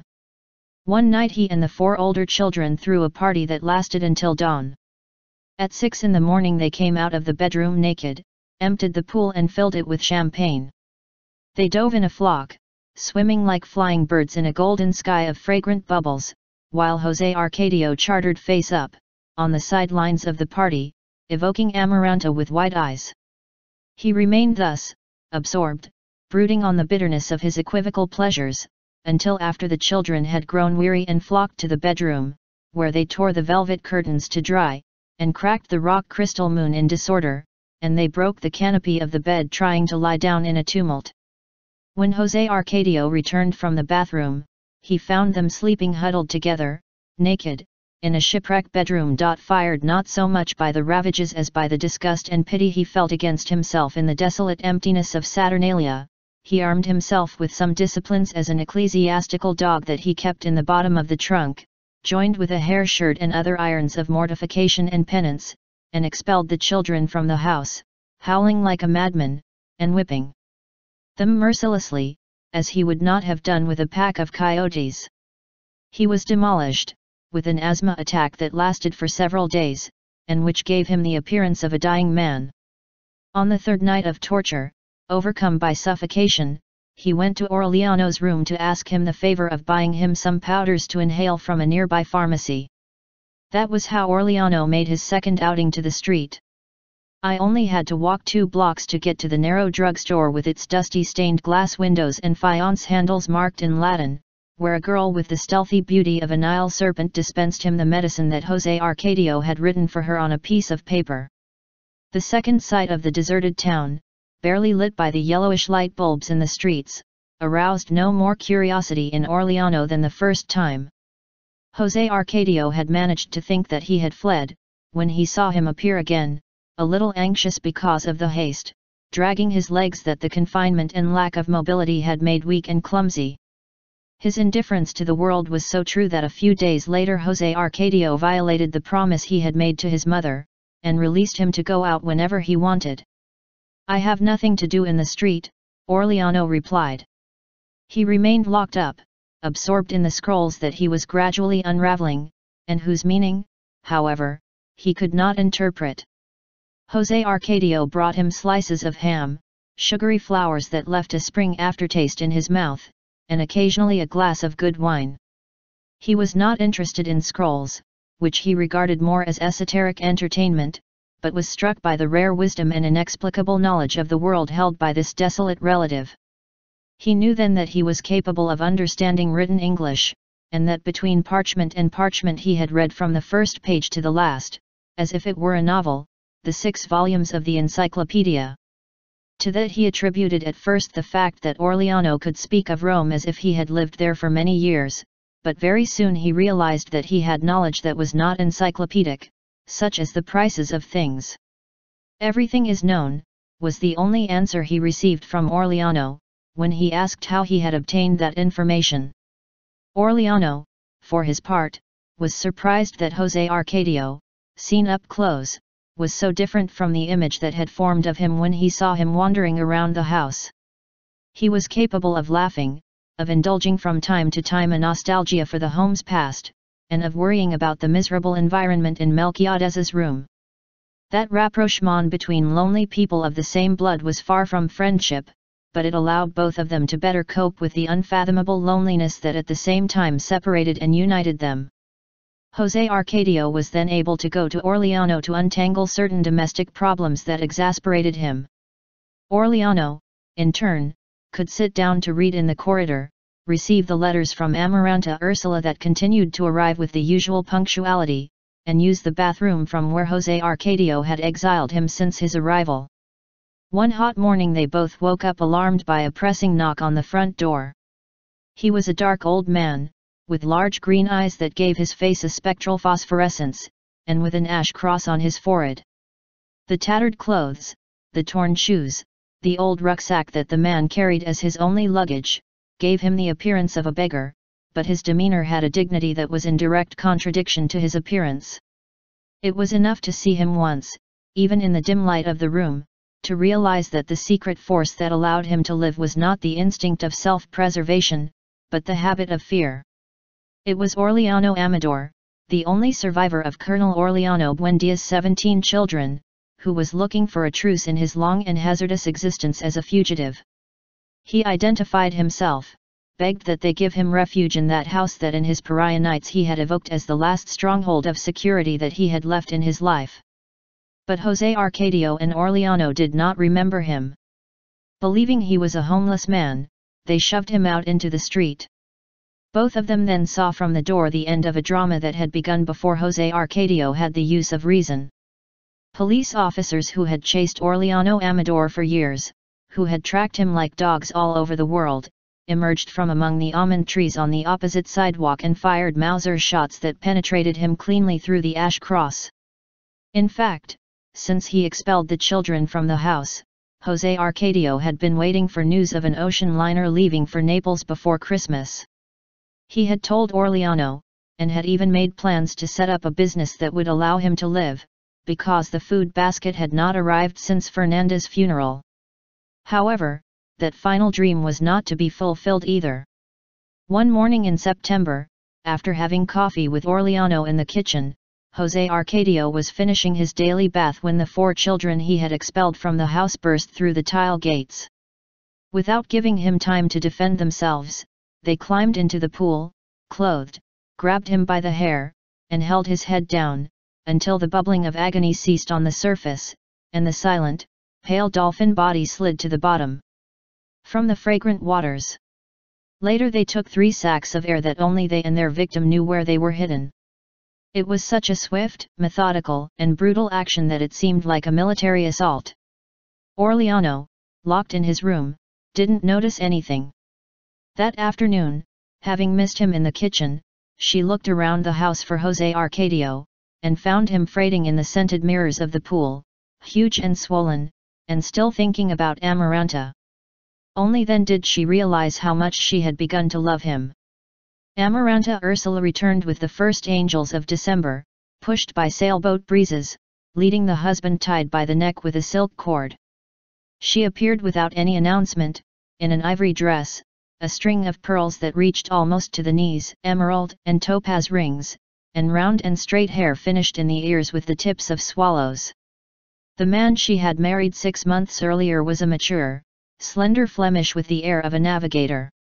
She had only to push open the living room door to understand that his absence had been longer and more devastating than she had supposed. My God, she cried, more cheerful than alarmed, how can it be seen that there is not a woman in this house? The luggage did not fit in the corridor.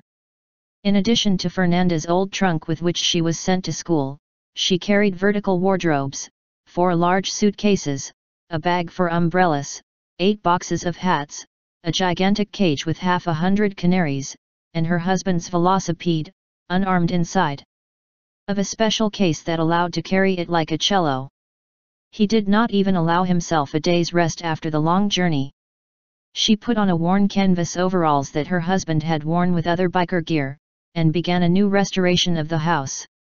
He dislodged the fire ants that had already taken over the corridor, resurrected the rose bushes, uprooted the weeds, and planted ferns, oregons, and begonias again in the pots on the handrail. He led a crew of carpenters, locksmiths, and bricklayers who repaired the cracks in the floors, fixed doors and windows, renewed the furniture and whitewashed the walls inside and out, so that three months after his arrival he breathed again the air of youth and party that existed in the days of the pianola. No one was ever seen in the house in a better mood at all times and in any circumstance, nor was anyone more willing to sing and dance, and to throw away tempered things and customs. With a sweep of the broom, he wiped out the funeral mementos and the piles of useless jurimbecos and superstition devices that clustered in the corners, and the only thing he kept, out of gratitude to Ursula, was the daguerreotype of remedios in the room. Look what a luxury, she cried out with laughter. A 14-year-old great-grandmother. When one of the bricklayers told her that the house was full of ghosts, and that the only way to scare them away was to look for the treasures they had left buried, she replied with a laugh that she did not believe in superstitions of men. She was so spontaneous, so emancipated, with such a modern and free spirit, that Aureliano didn't know what to do with his body when he saw her arrive. What a barbarian! She yelled happily, with open arms. Look how my beloved cannibal has grown. Before he had time to react, she had already put a record on the portable gramophone that he brought with him, and was trying to teach him the fashionable dances. She forced him to change out of the skinny pants that he inherited from Colonel Aureliano Buendia, gave him youth shirts and colorless shoes, and pushed him out into the street when he spent a lot of time in Melquiades' room. Active, petite, indomitable, like Ursula, and almost as beautiful and provocative as Remedios, the beauty, she was endowed with a rare instinct to anticipate fashion. When he received the most recent figurines by mail, they hardly served him to verify that he had not made a mistake in the models he invented, and that he was sewing on Amaranta's rudimentary crank machine. She subscribed to every fashion magazine, artistic information, and popular music published in Europe, and she barely glanced at them to realize that things were going in the world as she imagined them. It was not understandable that a woman with that spirit would have returned to a dead town, depressed by the dust and heat, and even less with a husband who had enough money to live well in any part of the world, and who loved her so much that he he had submitted to be carried and brought by her with the silk noose. However, as time passed, his intention to stay became more evident, since he did not conceive plans that were not long-term, nor did he make decisions that were not oriented to ensuring a comfortable life and a quiet old age in Macondo. The canary cage showed that these purposes were not improvised. Remembering that his mother had told him in a letter about the extermination of the birds, he had delayed the trip for several months until he found a ship that would stop at the Fortunate Islands, and there he selected the 25 pairs of finest canaries to repopulate the sky of Macondo. That was the most regrettable of his many frustrated initiatives. As the birds reproduced, Amaranta Ursula released them in pairs, and it took them longer to feel free than to flee the town. In vain he tried to enchant them with the aviary that Ursula built in the first restoration. In vain he falsified esparto nests in the almond trees, and he sprinkled birdseed on the roofs and stirred up the captives so that his songs would dissuade the deserters, because they went back to the first attempt and went around in the sky, just the time essential to find your way back to the Fortunate Islands. A year after the return, although she had not managed to establish a friendship or promote a party, Amaranta Ursula continued to believe that it was possible to rescue that community chosen by misfortune.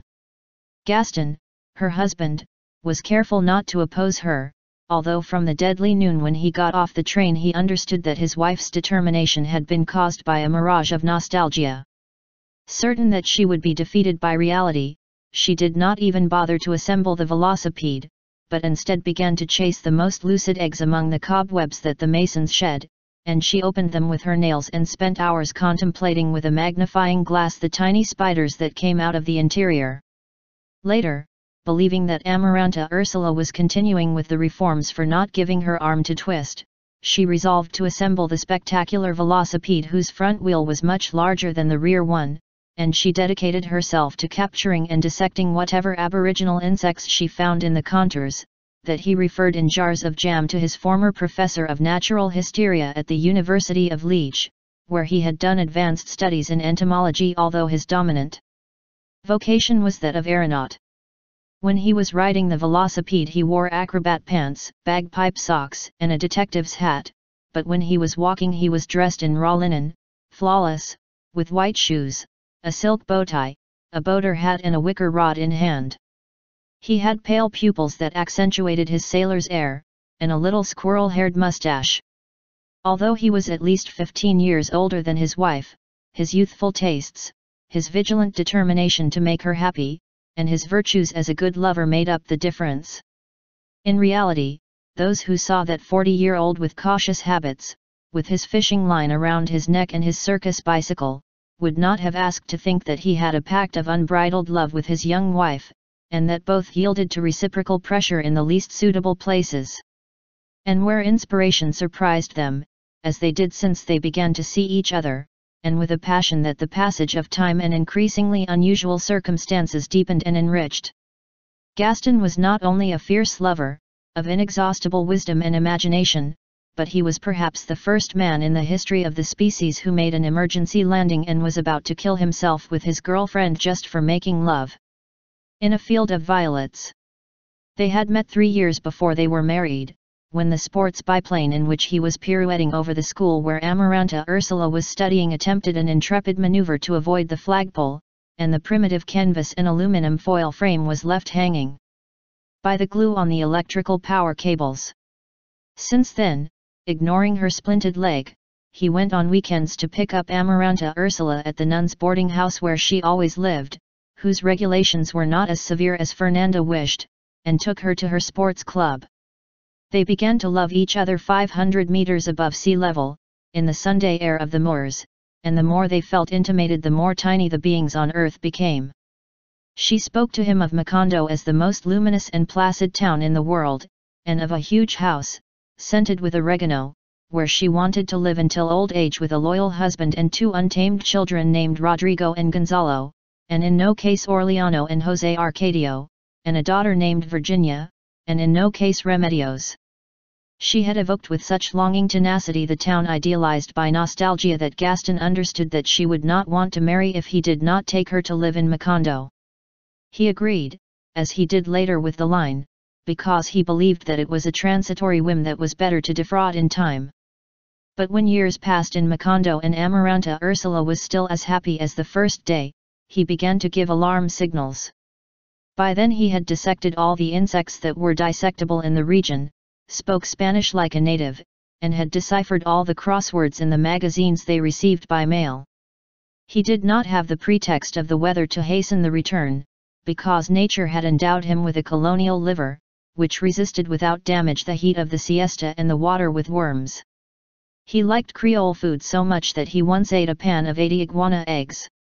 Amaranta Ursula, on the other hand, took fish and seafood in ice boxes, meats in cans and syrupy fruits, which was the only thing she could eat, on the train, and she continued to dress in European fashion and receive figurines by mail, despite that she had nowhere to go or whom to visit, and that at this point her husband lacked the humor to appreciate her short dresses, her lopsided felts, and her seven-strand necklaces.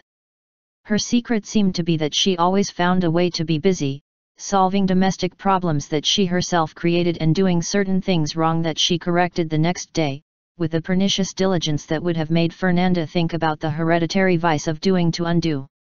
His festive genius was still so awake then that when he received new records he invited Gaston to stay in the room until very late to rehearse the dances that his schoolmates described to him with drawings, and they generally ended up making love in the Viennese rocking chairs or in the peeled soil. The only thing she needed to be completely happy was the birth of her children, but she respected the pact she had made with her husband not to have them before they were married for five years. Looking for something to fill his dead hours, Gaston used to spend the morning in Melquiades's room, with the elusive Aureliano. He took pleasure in evoking with him the most intimate corners of his land, which Aureliano knew as if he had been there for a long time. When Gaston asked him how he had managed to obtain information that was not in the encyclopedia, he received the same response as José Arcadio. Everything is known. In addition to Sanskrit, Orleano had learned English and French, and some Latin and Greek. Since then he went out every afternoon, and Amaranta Ursula had assigned him a weekly sum for his personal expenses, his room seemed like a section of the Catalan scholars' bookstore. He read with avidity until very late at night, although the way he referred to his reading, Gaston thought that he did not buy the books to inform himself but to verify the accuracy of his knowledge, and that none interested him more than the scrolls. To which he dedicated the best hours of the morning. Both Gaston and his wife would have liked to incorporate him into family life, but Aureliano was a hermetic man, with a cloud of mystery that time was thickening. It was such an insurmountable condition that Gaston failed in his efforts to become intimate with him, and had to find other entertainment to fill his dead hours. It was around this time that he conceived the idea of establishing an airmail service. It was not a new project. Actually, he was quite advanced when he met Amaranta Ursula, only it was not for Macondo sign for the Belgian Congo, where his family had investments in palm oil. The marriage, the decision to spend a few months in Macondo to please his wife, had forced him to put it off. But when he saw that Amaranta Ursula was determined to organize a public improvement meeting, and even laughed at him for hinting at the possibility of return, he understood that things were going for a long time, and he again established contact with his forgotten partners in Brussels, thinking that in order to be a pioneer, the Caribbean was the same as Africa.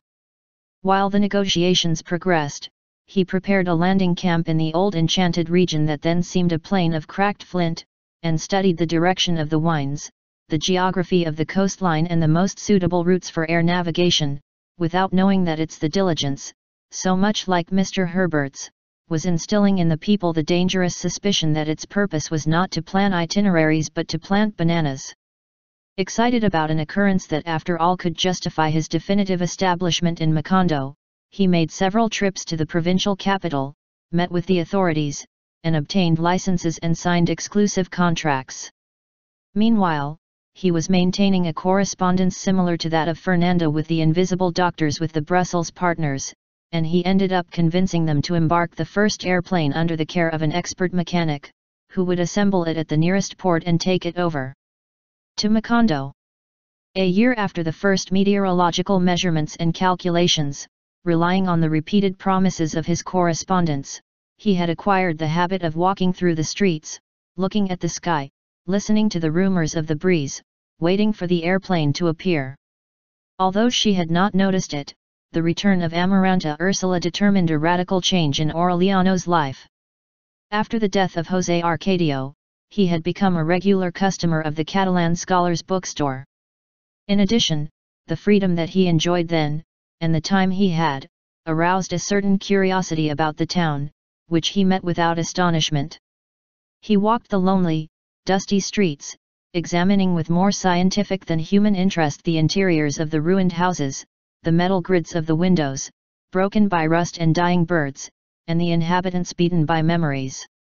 In his imagination he tried to reconstruct the ravaged splendor of the old banana company town, whose dry pool was filled to the brim with rotten men's shoes and women's slippers, and in whose weed-ravaged houses he found the skeleton of a dog. German still tied to a ring with a steel chain, and a telephone that rang, rang, rang, until he picked it up, he understood that an anguished and remote woman was asking in English, and he answered that yes, that the strike had finished, that the 3,000 dead had been thrown into the sea, that the banana company had left, and that Macondo had finally been at peace for many years. Those forays took him to the prostrate neighborhood of Tolerance, where in other times bundles of bills were burned to animate the Cumbiamba, and which then was a twist of streets more afflicted and miserable than the others, with some red lights still on, and with barren ballrooms adorned with garlands, where the gaunt and fat widows of no one, the French great-grandmothers and the Babylonian matriarchs, continued to wait next to the Victrolas. Aureliano could not find anyone who remembered his family, not even Colonel Aureliano Buendia, except for the oldest of the Antillean Negroes, an old man whose cotton head made him look like a photographic negative, who continued to sing on the porch of the house. Gloomy psalms of the evening. Aureliano talked with him in the convoluted papiamento that he learned in a few weeks, and sometimes he shared the broth of rooster heads that his great-granddaughter prepared, a large black woman with solid bones, mare's hips and teats of live melons, and a round head, perfect, armored by a hard headpiece of wire hair, which looked like the coif of a medieval warrior. It was called Nigromanta. At that time, Aureliano lived by selling cutlery, candlesticks, and other household cheeses. When he was penniless, which was the most common, he would get the rooster heads that they were going to throw away in the garbage at the inns in the market, and he would take them to Nigromanta to make his soups augmented with purslane and scented with peppermint. When the great-grandfather died, Aureliano stopped frequenting the house, but he found Nigromanta going down the dark almond trees of the square, captivating the few night owls with his montuno animal whistles. He accompanied her many times, speaking in papiamento of rooster head soups and other delicacies of misery, and would have continued to do so if she had not made him realize that her company was driving him away from his clientele. Though he was tempted at times, and though Nigromanta herself would have found it a natural culmination of shared nostalgia, he did not sleep with her. So Aureliano was still a virgin when Amaranta Ursula returned to Macondo and gave him a brotherly hug that took his breath away. Every time he saw her, and even worse when she taught him the fashionable dances, he felt the same helplessness of sponges in his bones that disturbed his great-great-grandfather when Pilar Ternera put cards on him in the barn. Trying to quell the torment, he plunged deeper into the scrolls and eluded the innocent flattery of that aunt who poisoned his nights with effluvia of tribulation, but the more he avoided her, the more anxiously he awaited her stony laugh, her happy cat howls. And his songs of gratitude, dying of love at any time and in the least expected places in the house. One night, ten meters from her bed, on the silver counter, the thick of her unhinged belly smashed the window and ended up loving each other in a puddle of muriatic acid. Aureliano not only couldn't sleep a minute, but he spent the next day with a fever, sobbing with rage. The arrival of the first night in which he waited for Nigromanta in the shade of the almond trees, crossed by the ice needles of uncertainty, and clenching in his fist the weight with fifty cents that he had asked Amaranta Ursula, became eternal for him, not so much because she needed them, as to complicate her, debase and prostitute her in some way with her adventure. Nigromanta took him to his room lit by trick candles, to his scissors bed with the canvas damaged by bad loves, and his body of a brave, inveterate, heartless bitch, who prepared to dispatch as if he were a frightened child, and he suddenly he found a man whose tremendous power demanded from his guts a movement of seismic rearrangement. They became lovers. Aureliano spent the morning deciphering scrolls, and at nap time he went to the soporific bedroom where Nigromanta was waiting for him to teach him to do first like worms, then eat snails and finally like crabs, until he had to leave it to stalk Love's missing. It was several weeks before Aureliano discovered that she had a headband around her waist that seemed to be made from a cello string, but that it was hard as steel and lacked a finial, because she had been born and raised with it. Almost always, between love and love, they ate naked in bed, in the hallucinatory heat and the daytime stars that the rust was making appear on the zinc ceiling go down. It was the first time that Nigromanta had a fixed man, a bruising man, as she said dead with laughter, and she was even beginning to have illusions of heart when Aureliano entrusted her with her repressed passion for Amaranta Ursula, which she had not been able to remedy with the substitution, but his insides twisted more and more as the experience broadened the horizon of love. Then Nigromanta continued to receive him with the same warmth as always, but he made himself pay for the services with such rigor that when Aureliano had no money he charged them to the account that he did not carry with sign numbers with lines that he traced with his thumbnail behind of the door. At dusk, while she was winding down in the shadows of the square, Aureliano passed through the corridor like a stranger, barely greeting Amaranta Ursula and Gaston who usually dined at that time, and would shut himself up in the room again, unable to read, nor write, nor even think, because of the anxiety provoked by the laughter, the whispers, the preliminary romps, and then the explosions of agonizing happiness that filled the nights at home. That was his life two years before Gaston started waiting for the airplane, and it was still the same the afternoon when he went to the Catalan Scholars bookstore and found four ranting boys, fierce in a discussion about the methods of killing cockroaches in the city.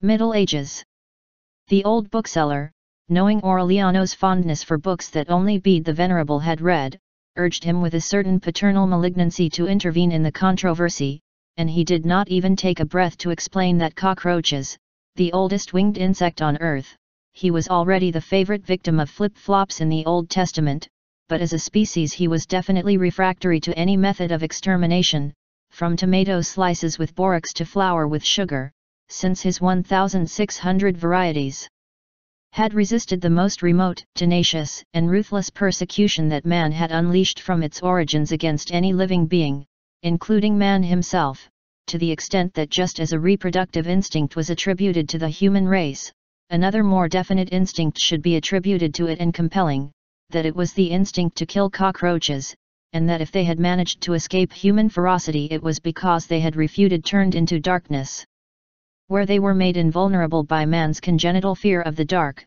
but instead became susceptible to the noonday splendor, so that as early as the Middle Ages, today and forever and ever, the only effective method of killing cockroaches was solar glare. That encyclopedic fatalism was the beginning of a great friendship. Aureliano continued to meet every afternoon with the four debaters, whose names were Alvaro, German, Alfonso, and Gabriel, the first and last friends he had in life. For a man like him, encased in written reality, those stormy sessions that began in the bookstore at 6 in the afternoon and ended in the brothels at dawn were a revelation. Until then, it had not occurred to him that literature was the best toy ever invented to make fun of people, as Alvaro demonstrated on a night out. Some time had to pass before Aureliano realized that he had so much arbitrariness erect in the example of the Catalan wise man, for whom wisdom was not worthwhile if it was not possible to use it to invent a new way of preparing chickpeas. The afternoon that Aureliano sat lecture on cockroaches, the discussion ended at the house of the girls who went to bed from hunger, a brothel of lies in the outskirts of Macondo. The owner was a smiling Mama Santa, tormented by the mania of opening and closing doors. His eternal smile seemed caused by the credulity of the customers, who admitted as something true an establishment that did not exist except in the imagination, because their even tangible things were unreal, the furniture that fell apart when sitting, the gutted Victrola inside which there was a hen hatching, the garden of paper flowers, the almanacs from years before the arrival of the banana company, the pictures with lithographs cut out of magazines that were never published. Even the shy little horse who came from the neighborhood when the owner told them that customers had arrived, they were a pure invention. They appeared without saying hello, with the flowery little dresses from when they were five years younger, and they took them off with the same innocence with which they had been put on, and in the paroxysm of love they exclaimed in amazement what atrocity, look how that ceiling is falling, and as soon as they received their peso with 50 cents they spent it on bread and a piece of cheese that the owner sold them, more smiling than ever, because only she knew that this food was not true. Either. Aureliano, whose world at that time began with the parchments of Melquiades and ended in the bed of Nigromanta, found in the imaginary brothel a donkey cure for shyness. At first he could not get anywhere, in rooms where the owner entered the best moments of love and made all kinds of comments about the intimate charms of the protagonists. But over time he became so familiar with those mishaps in the world that one night more unhinged than the others he undressed in the living room and walked around the house balancing a bottle of beer on his unthinkable masculinity. It was he who made the extravagances that the owner celebrated with her eternal smile, without protesting, without believing in them, the same when German tried to set fire to the house to show that it did not exist, as when Alfonso twisted the parrot's neck and he poured it into the pot where the chicken stew was beginning to boil. Although Aureliano felt linked to the four friends by the same affection and solidarity, to the point that he thought of them as one, he was closer to Gabriel than to the others. The bond was born the night he casually spoke of Colonel Aureliano Buendia, and Gabriel was the only one who did not believe he was making fun of someone. Even the owner, who did not usually intervene in the conversations, argued with the rabid passion of a midwife that Colonel Aureliano Buendia, of whom in fact she had once heard of, was a character invented by the government as a pretext to kill liberals. Gabriel, on the other hand, did not question the reality of Colonel Aureliano Buendia, because he had been a companion in arms and inseparable friend of his great-grandfather, Colonel Gerineldo Marquez. Those vagaries of memory were even more critical when talking about the massacre of the workers. Every time Aureliano touched the point, not only the owner, but some people older than her, repudiated the hoax of the workers cornered in the station, and the train of 200 wagons loaded with dead, and even persisted in what after everything had been established in court records and in elementary school texts, that the banana company had never existed. So Aureliano and Gabriel were linked by a kind of complicity, founded on real events in which no one believed, and which had affected their lives to the point that they were both adrift in the hangover of a finished world, of the which only nostalgia remained. Gabriel slept where the hour caught him. Aureliano accommodated him several times in the silver workshop, but he spent his nights awake, disturbed by the traffic of the dead who walked through the bedrooms until dawn. Later he entrusted it to Nigromanta, who took him to his crowded little room when he was free, and he wrote down the accounts with vertical lines behind the door, in the few available spaces that Aureliano's debts had left. Despite his disorderly life, the whole group was trying to do something lasting, at the urging of the wise Catalan. It was he, with his experience as a former professor of classical letters and his deposit of rare books, who had put them in a position to spend a whole night looking for the 37th dramatic situation, in a town where no one had any interest or possibilities to go further. Past elementary school. Fascinated by the discovery of friendship, stunned by the spells of a world that had been forbidden to him by Fernanda's pettiness, Aureliano abandoned scrutiny of the scrolls, precisely when they began to reveal themselves to him as predictions in coded verses but the later verification that time was enough for everything without it being necessary to give up the brothels, encouraged him to return to Melquiades' room, determined not to waver in his efforts until he discovered the last clues. That was for the days when Gaston began to wait for the airplane, and Amaranta Ursula was so lonely that one morning she appeared in the room. Hello, cannibal, he said. Again in the cave. She was irresistible, with her made-up dress, and one of the long necklaces of shad vertebrae, which she made herself. She had given up the line, convinced of the fidelity of her husband, and for the first time since her return she seemed to have some leisure time. Aureliano would not have needed to see her to know that she had arrived. She leaned on the work table, so close and defenseless that Aureliano heard the deep sound of her bones, and became interested in the scrolls. Trying to overcome his embarrassment, he caught the voice that was leaking from him, the life that was leaving him, the memory that was turning into a petrified polyp, and spoke to him of the Levitical destiny of the Sanskrit, of the scientific possibility of seeing the future transparent in time as seen against the light of what is written on the reverse of a paper, the need to encrypt the predictions so that they do not defeat themselves, and the centuries of Nostradamus and the destruction of Cantabria announced by Saint Milan. Suddenly, without interrupting the conversation, moved by an impulse that had been sleeping in him since its origins, Aureliano put his hand on hers, believing that this final decision put an end to the anxiety. Yet she took his index finger with the loving innocence with which she did so many times in childhood, and held it while he continued to answer her questions. They stayed that way, linked by an icy index that conveyed nothing in any sense, until she woke up from her momentary sleep and slapped her forehead. The ants! He exclaimed. And then she forgot the manuscripts, she came to the door with a dance step, and from there she sent Aureliano with the tips of her fingers the same kiss with which she said goodbye to her father the afternoon they sent her to Brussels. You explain to me later, he said. I had forgotten that today is the day to put lime in the holes of the ants. She kept going to the room occasionally, when she had something to do around here, and stayed there for a few minutes, while her husband continued to scan the sky. Excited with that change, Aureliano then stayed to eat as a family, as he had not done since the first months of Amaranta Ursula's return. Gaston liked it. In after-dinner conversations, which often lasted for more than an hour, he pained that his partners were cheating on him.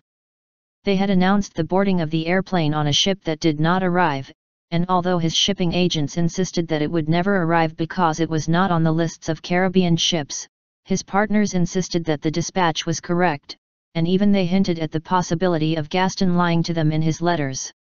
The correspondence reached such a degree of reciprocal suspicion that Gaston chose not to write again, and began to suggest the possibility of a quick trip to Brussels, to clear things up, and return with the airplane.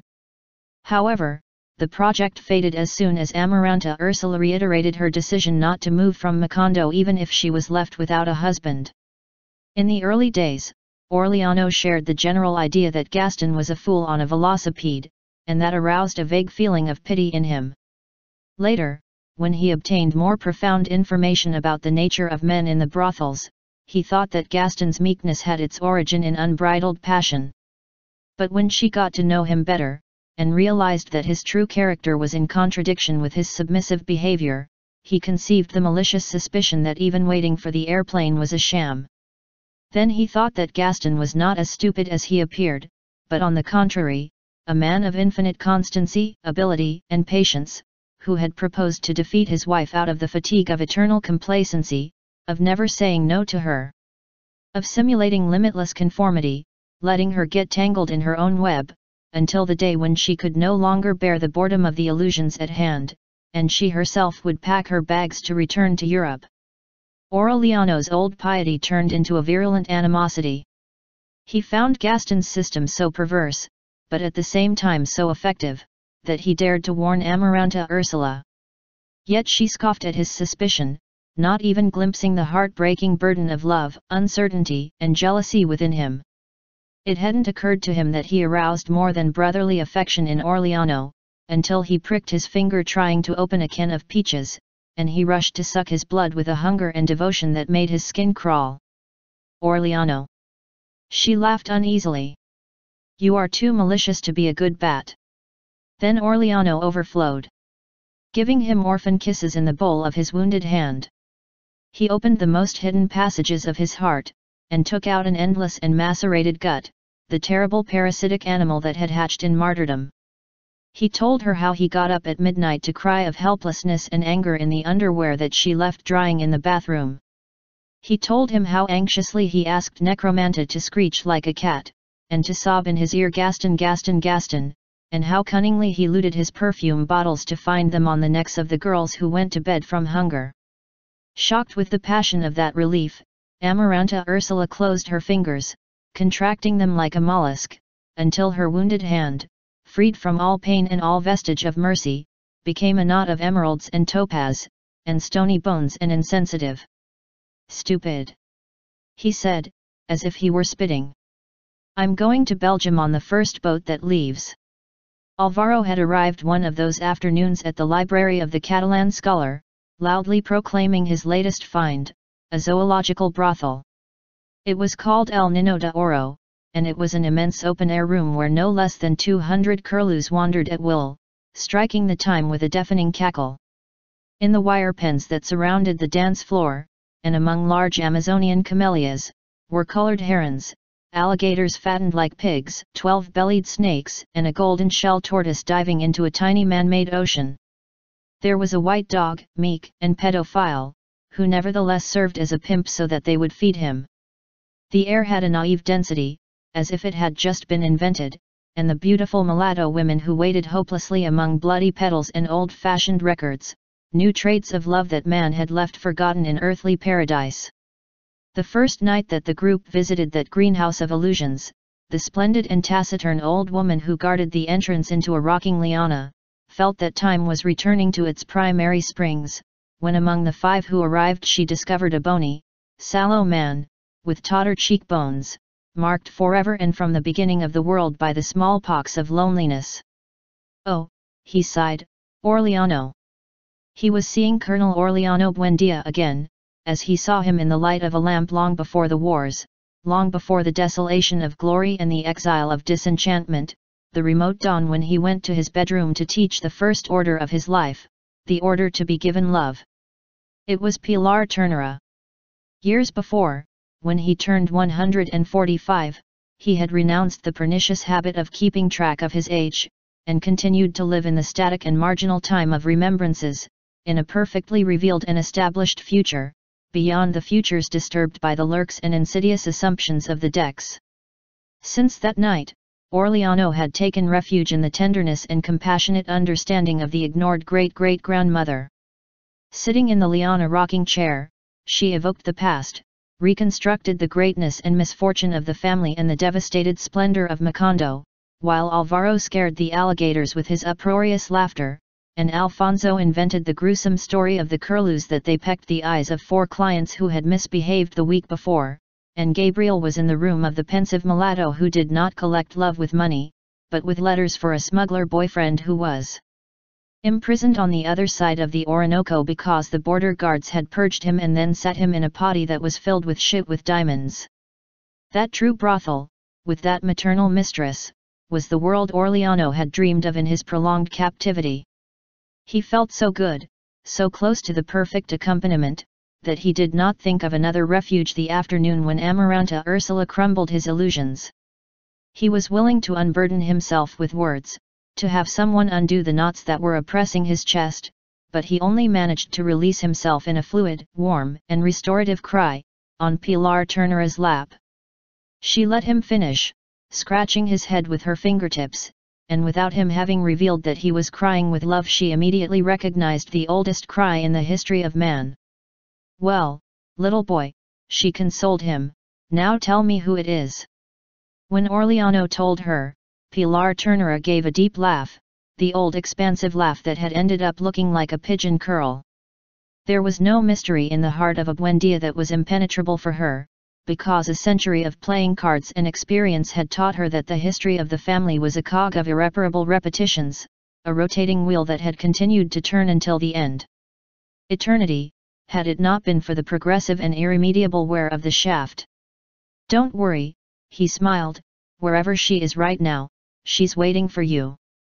It was 4.30 in the afternoon when Amaranta Ursula came out of the bathroom. Aureliano saw her pass in front of his room, wearing a lightly pleated robe and a towel wrapped around her head like a turban. He followed her almost on tiptoe, reeling from drunkenness, and entered the bridal bedroom just as she opened her robe and closed it again in shock. He made a silent signal towards the adjoining room, whose door was ajar, and where Aureliano knew that Gaston was beginning to write a letter. Go away, he said without a voice. Aureliano smiled, lifted her by the waist with his bare hands, like a pot of begonias, and threw her face up on the bed.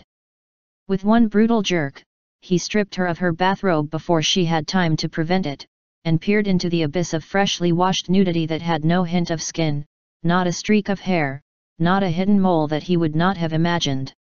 In the darkness of other rooms, Amaranta Ursula defended herself sincerely, with the cunning of a wise female, weaseling the elusive and flexible and fragrant body of a weasel, while she tried to unpin his kidneys with her knees and snarl his face with her nails, but without him or she emitting a sigh. That it could not be confused with the breathing of someone looking at the slow April twilight through the open window. It was a fierce fight, a battle to the death, which, however, seemed devoid of all violence, because it was made up of distorted aggressions and spectral evasiveness, slow, cautious, solemn, so that between one and the other there was time for them to return to each other.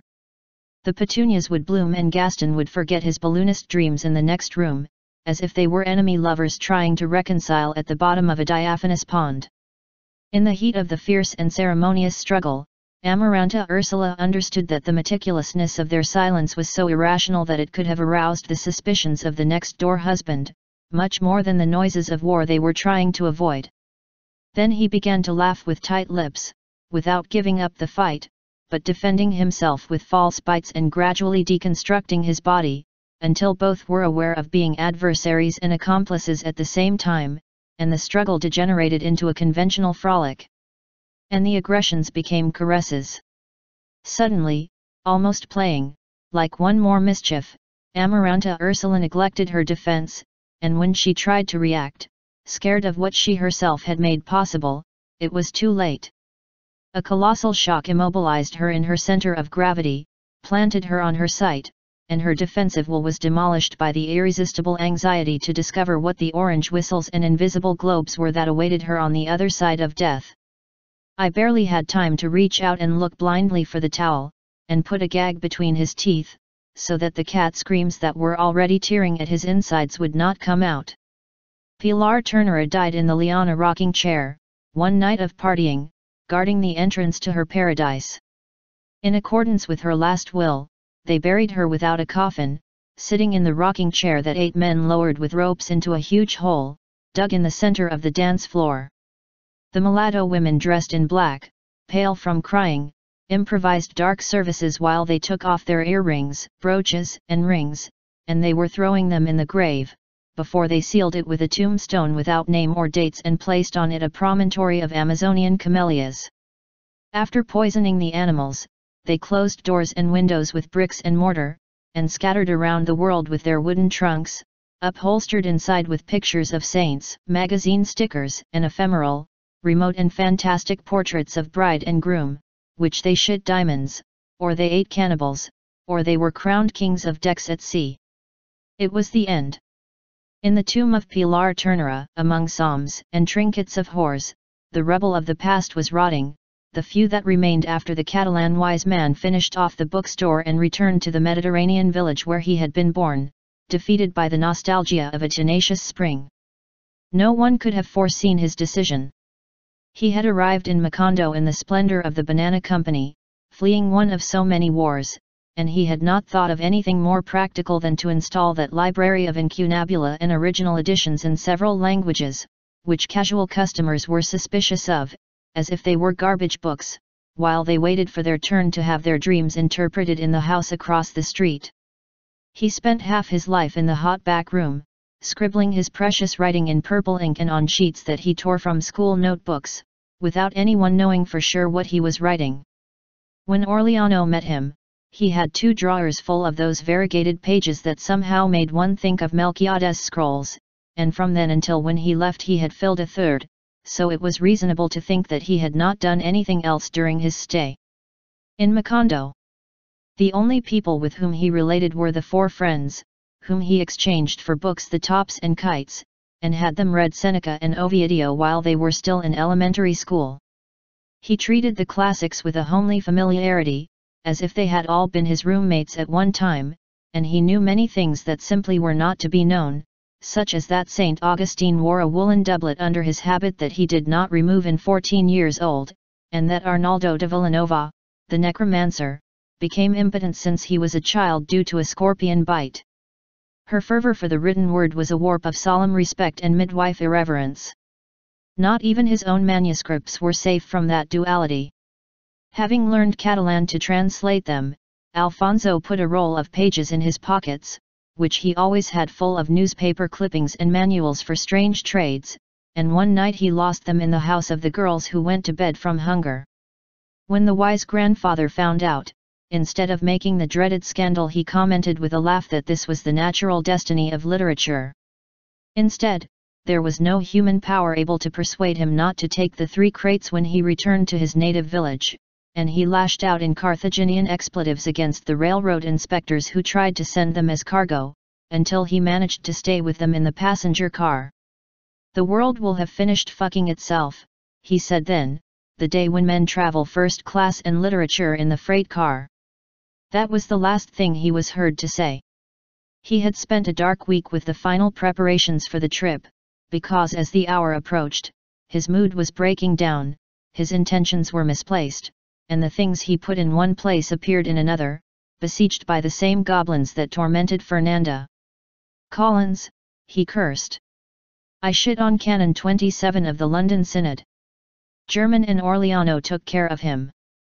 They helped him like a child, they pinned his tickets and immigration documents in his pockets with nurse pins, they made him a detailed list of what he had to do from the time he left Macondo until he disembarked in Barcelona, but anyway he started trash inadvertently a pair of pants with half your money.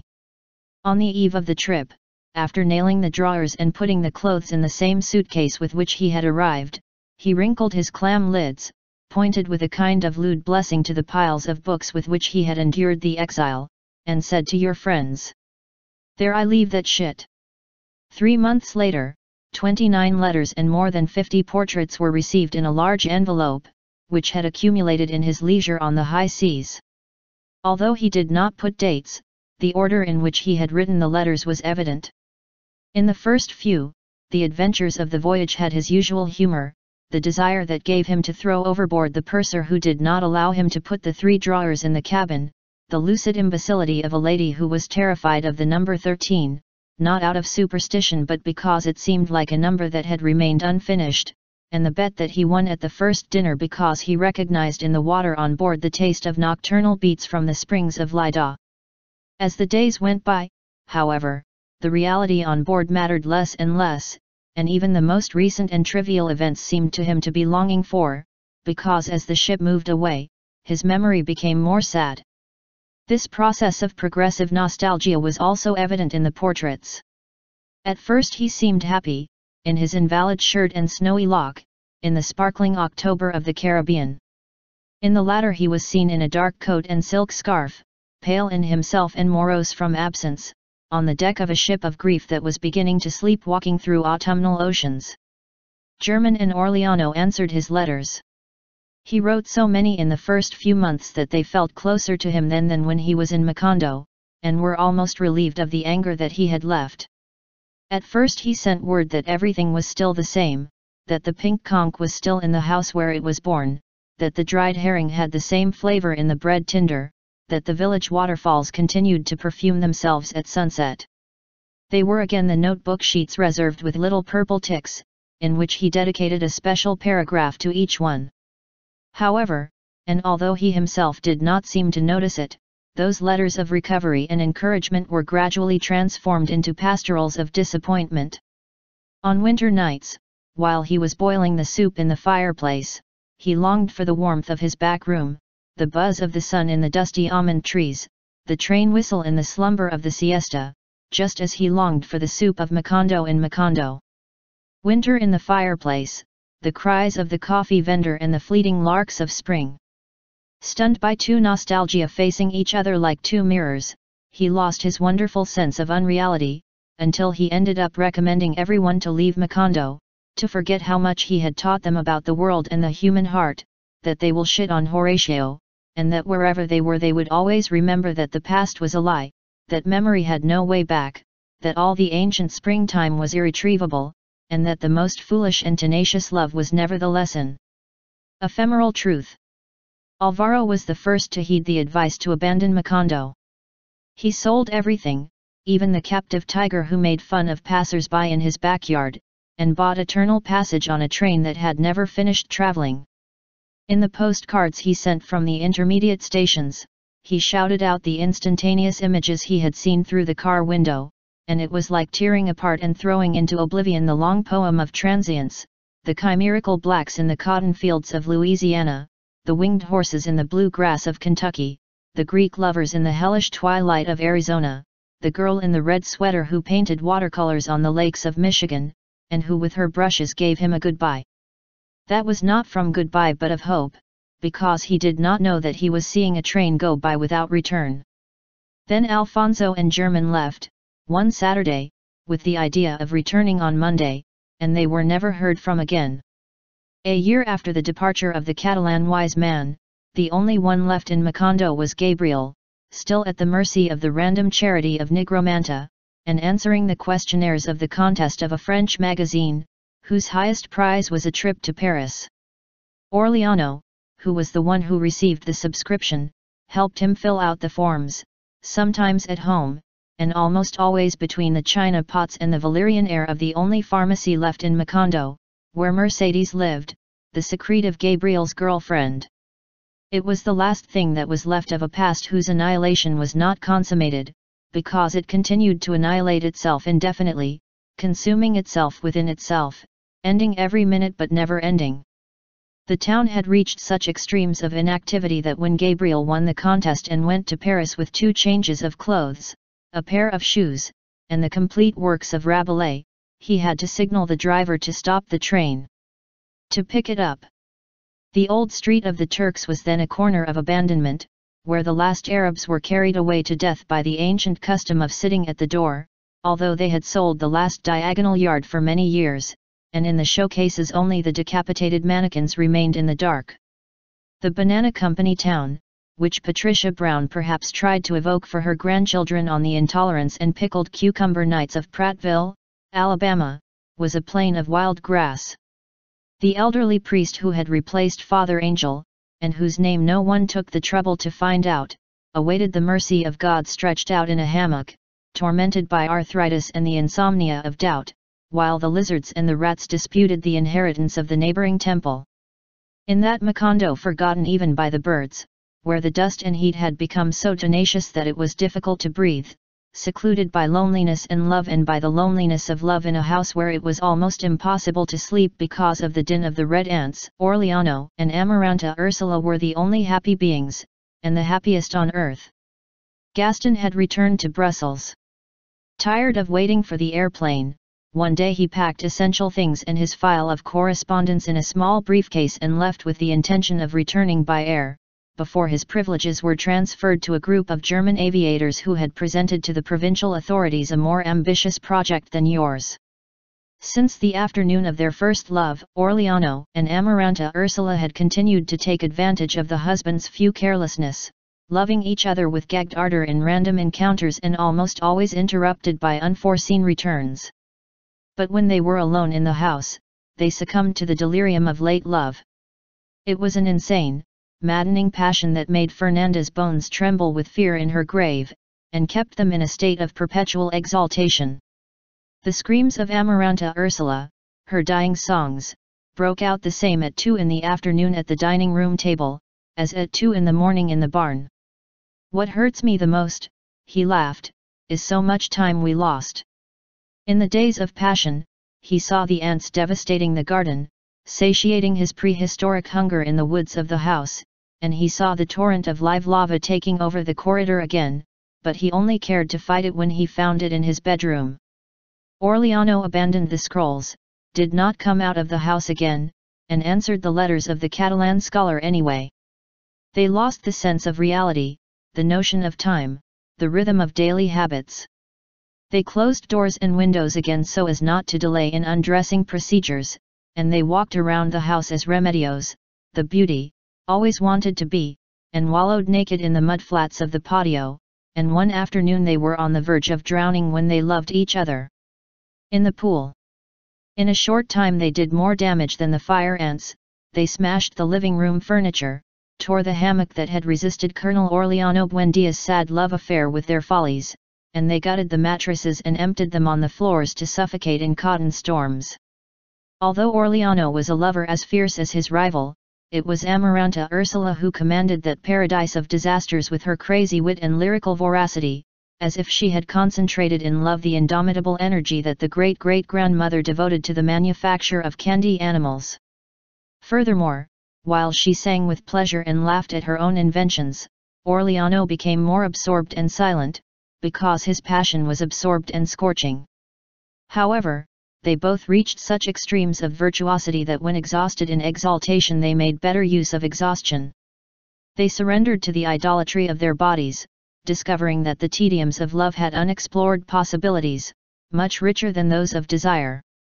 While he was kneading Amaranta Ursula's erectile breasts with egg whites, or softening her elastic thighs and her ripe belly with coconut butter, she played dolls with Aureliano's marvelous creature, and painted clown eyes with lipstick and Turk's mustaches with charcoal on his eyebrows, and he wore organza bowties and silver paper hats. One night they smeared themselves from head to toe with peaches and syrup, licked each other like dogs and loved each other like crazy on the corridor floor, and were awakened by a torrent of meat ants that were preparing to devour them alive. In the pauses of delirium, Amaranta Ursula answered Gaston's letters. He felt so distant and busy that his return seemed impossible. In one of the first letters he said that his partners had actually sent the plane, but that a maritime agency in Brussels had mistakenly shipped it to Tanganyika, where it was delivered to the scattered Makondos community. That confusion caused so many setbacks that the airplane's recovery alone could take two years. So Amaranta Ursula ruled out the possibility of an untimely return. Aureliano, for his part, had no more contact with the world than the letters from the Catalan scholar, and the news he received from Gabriel through Mercedes, the silent apothecary. At first they were real contacts. Gabriel had had his return fare reimbursed to stay in Paris, selling the old newspapers and the empty bottles the maids brought out of a gloomy hotel on the Rue Dauphine. Aureliano could then imagine him wearing a high-necked sweater that he only took off when the terraces of Montparnasse were filled with spring lovers, and sleeping during the day and writing at night to confuse hunger, in the room smelling of boiled cauliflower foam where he had to die rocamadour.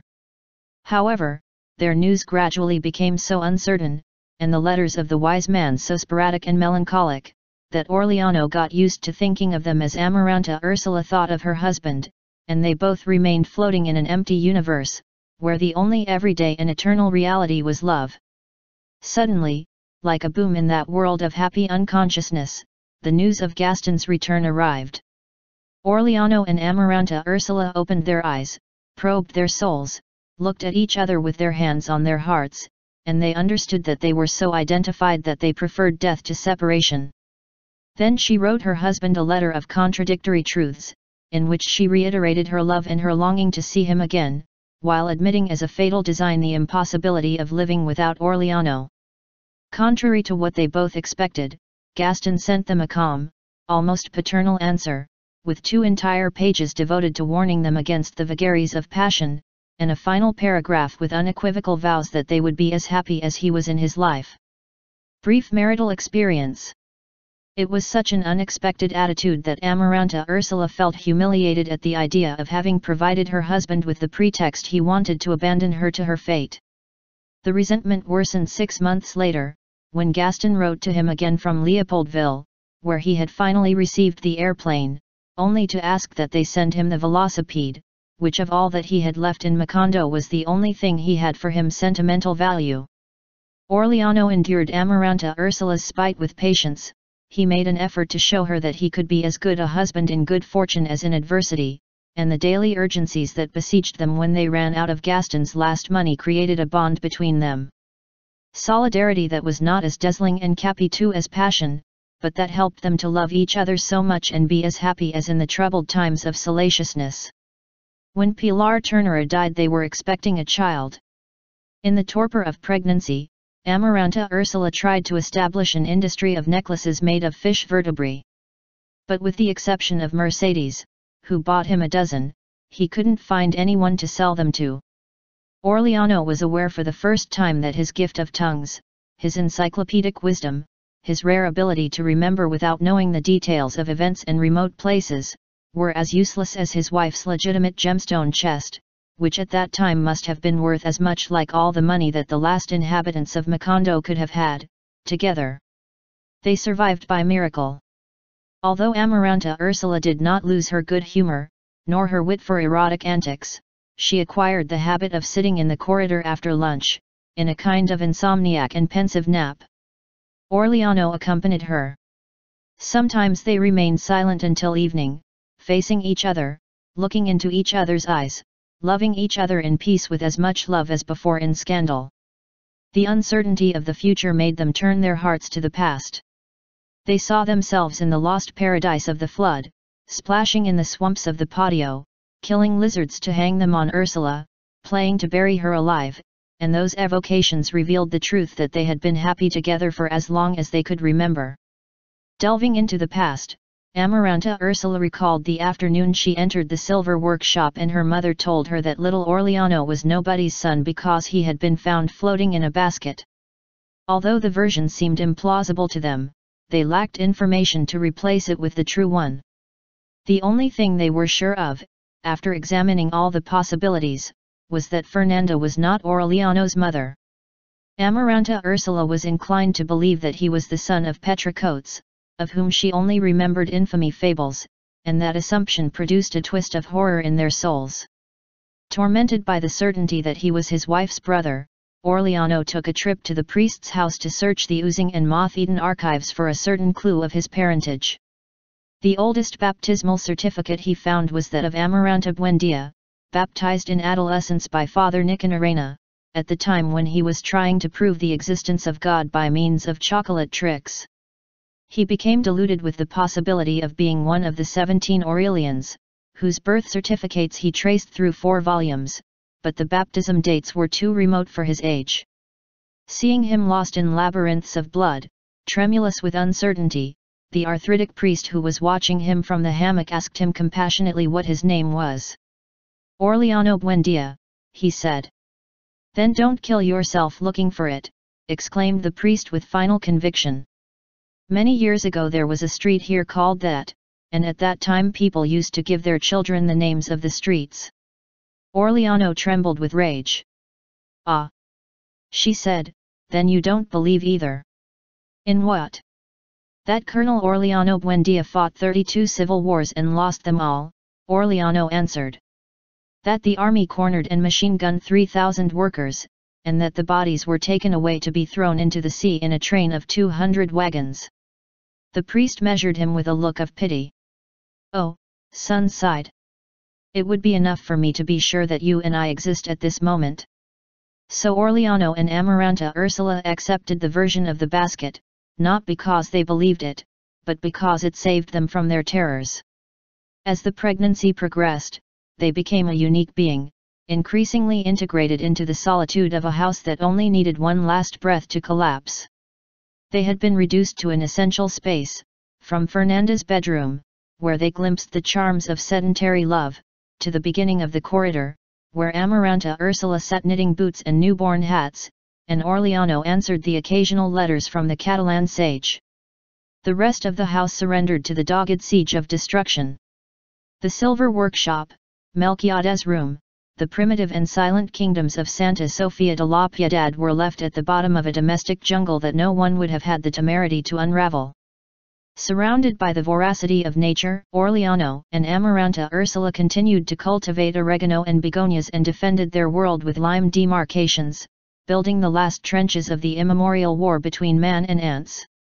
The long and unkempt hair, the bruises that dawned on her face, the swelling of her legs, the deformation of the old and loving body of a weasel, had changed Amaranta Ursula the youthful appearance of when she arrived at the house with the cage of unfortunate canaries and the captive husband, but they did not alter the vivacity of the spirit. Shit, he used to laugh. Who would have thought that we were really going to end up living like cannibals? The last thread that linked them to the world broke in the sixth month of pregnancy, when they received a letter that was obviously not from the wise Catalan. It had been franked in Barcelona, but the cover was written in conventional blue ink by administrative calligraphy, and it had the innocent and impersonal look of enemy errands. Aureliano snatched it from Amaranta Ursula's hands as she was about to open it. Not this one, he said. I don't want to know what it says. As he sensed it, the Catalan sage did not write again. The other people's letter, which nobody read, was left at the mercy of the moths on the shelf where Fernanda once forgot her wedding ring, and there she continued to burn herself in the inner fire of her bad news, while the lonely lovers sailed against the current of those times. Of end times, unrepentant and unfortunate times, which were worn out in the futile effort to make them drift towards the desert of disenchantment and oblivion. Aware of this threat, Aureliano and Amaranta Ursula spent the last months holding hands, ending the sun with love of loyalty that began with outrages of fornication. At night, cuddled in bed, they were not intimidated by the sublunar explosions of ants, nor the roar of moths, nor the constant, clear hiss of weed growth in neighboring rooms. Many times they were awakened by the traffic of the dead. They heard Ursula fighting with the laws of creation to preserve the lineage, and José Arcadio Buendia looking for the chimerical truth of the great inventions, and Fernanda praying and Colonel Aureliano Buendia becoming brutalized with the deceptions of wars and little gold fishes, and Aureliano Segundo dying of solitude in the days of the parrandas, and then they learned that dominant obsessions prevail against death, and they were happy again with the certainty that they would continue to love each other with their apparition natures, long after other future animal species had told them. Snatch from the insects the paradise of misery that the insects were just taking from men. One Sunday at six in the afternoon, Amaranta Ursula felt the urges of childbirth. The smiling midwife of the girls who went to bed out of hunger made her climb up on the dining room table, hold her in the belly, and mistreated her with barren gallops until her screams were silenced by the howls of a formidable male. Through tears, Amaranta Ursula saw that he was a great Buendia, massive and willful like the Jose Arcadios, with the open and clairvoyant eyes of the Aurelians, and predisposed to start the line again from the beginning and purify it of its pernicious vices and his lonely vocation, because he was the only one in a century that had been engendered with love. He's quite a cannibal, he said. His name will be Rodrigo. No, her husband contradicted. His name will be Aureliano and he will win 32 wars. After cutting off his navel, the midwife began to remove the blue ointment that covered his body with a cloth, lit by Aureliano with a lamp. Only when they turned him upside down did they realize he had something more than the rest of the men, and they bent down to examine him. It was a pig's tail. They were not alarmed. Aureliano and Amaranta Ursula did not know the family precedent, nor did they remember Ursula's dreadful admonitions, and the midwife finished reassuring them with the assumption that that useless tail could be cut off when the child changed its teeth. Then they had no chance to think about that again, because Amaranta Ursula was bleeding into an irrepressible spring. They tried to help her with cobweb dressings and ash cakes, but it was like trying to block a spout with their hands. In the early hours, she made an effort to keep her good humor. She would hold the hand of the frightened Aureliano, and beg him not to worry, that people like her were not made to die against their will, and burst out laughing at the truculent resources of the midwife. But as Aureliano's hopes left him, she became less visible, as if they were erasing her from the light, until she sank into slumber.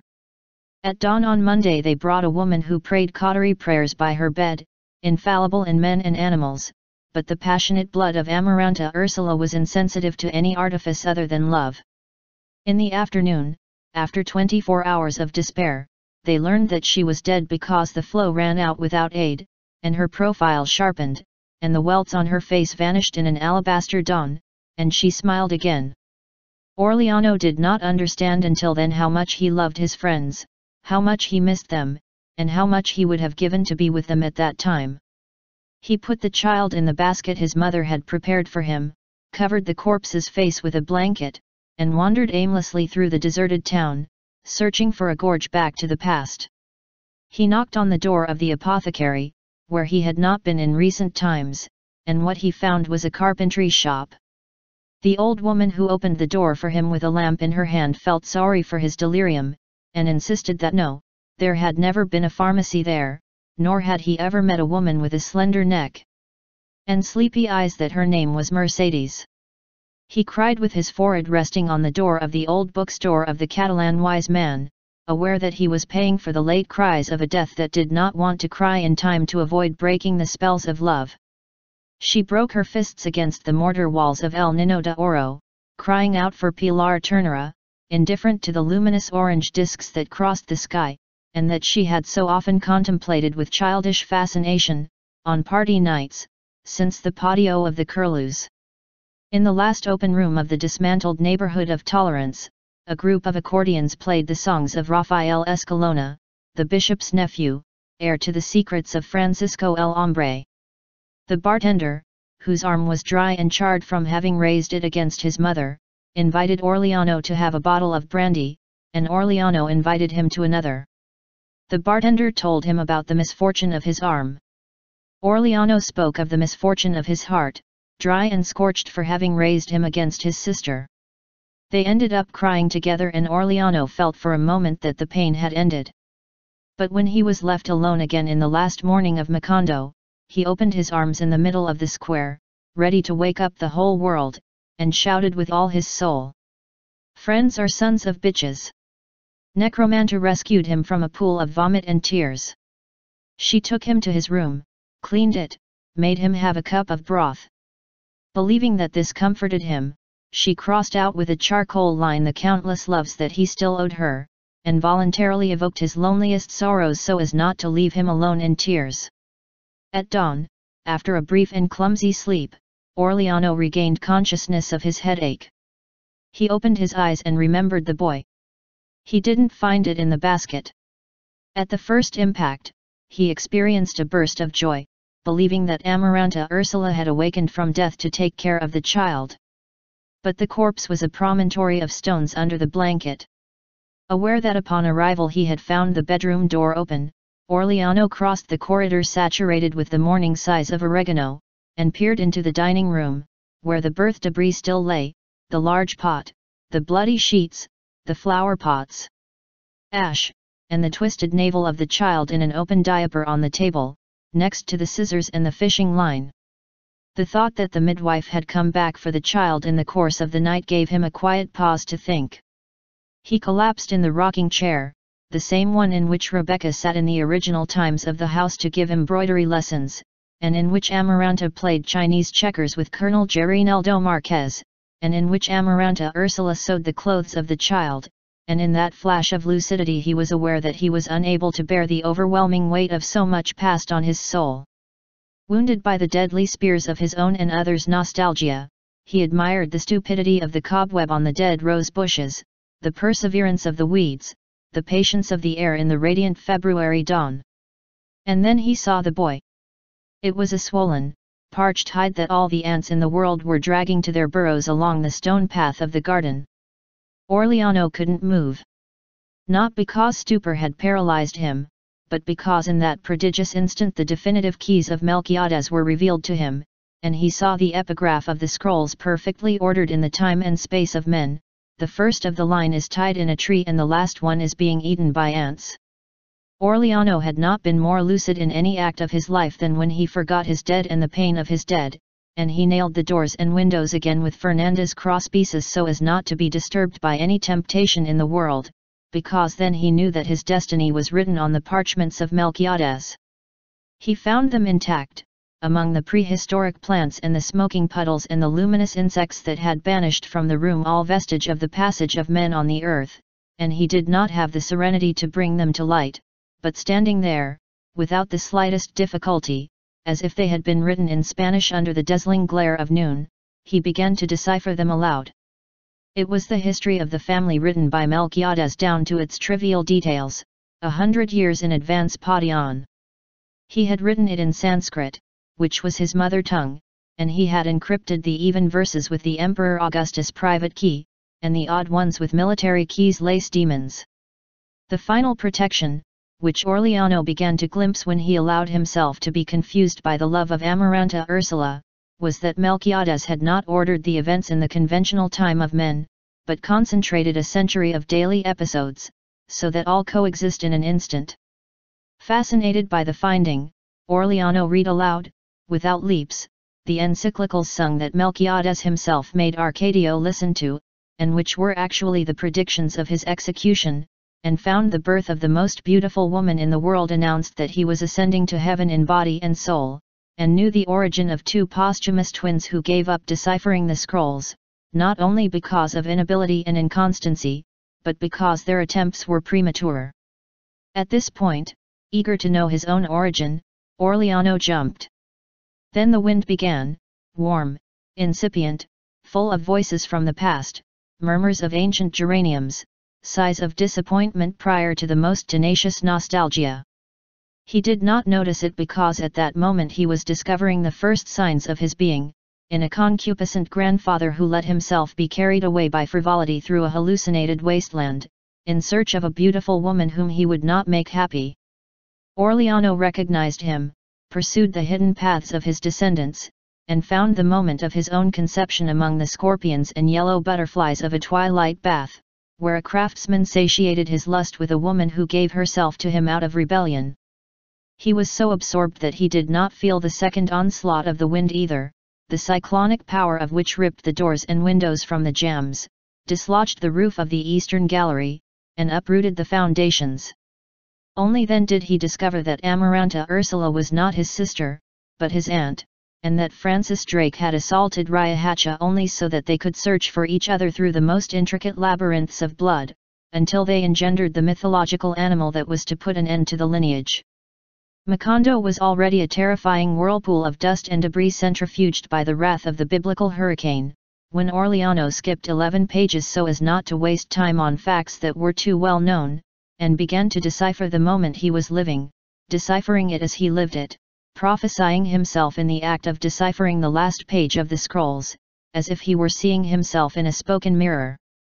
Then he took another leap to anticipate the predictions and find out the date and circumstances of his death.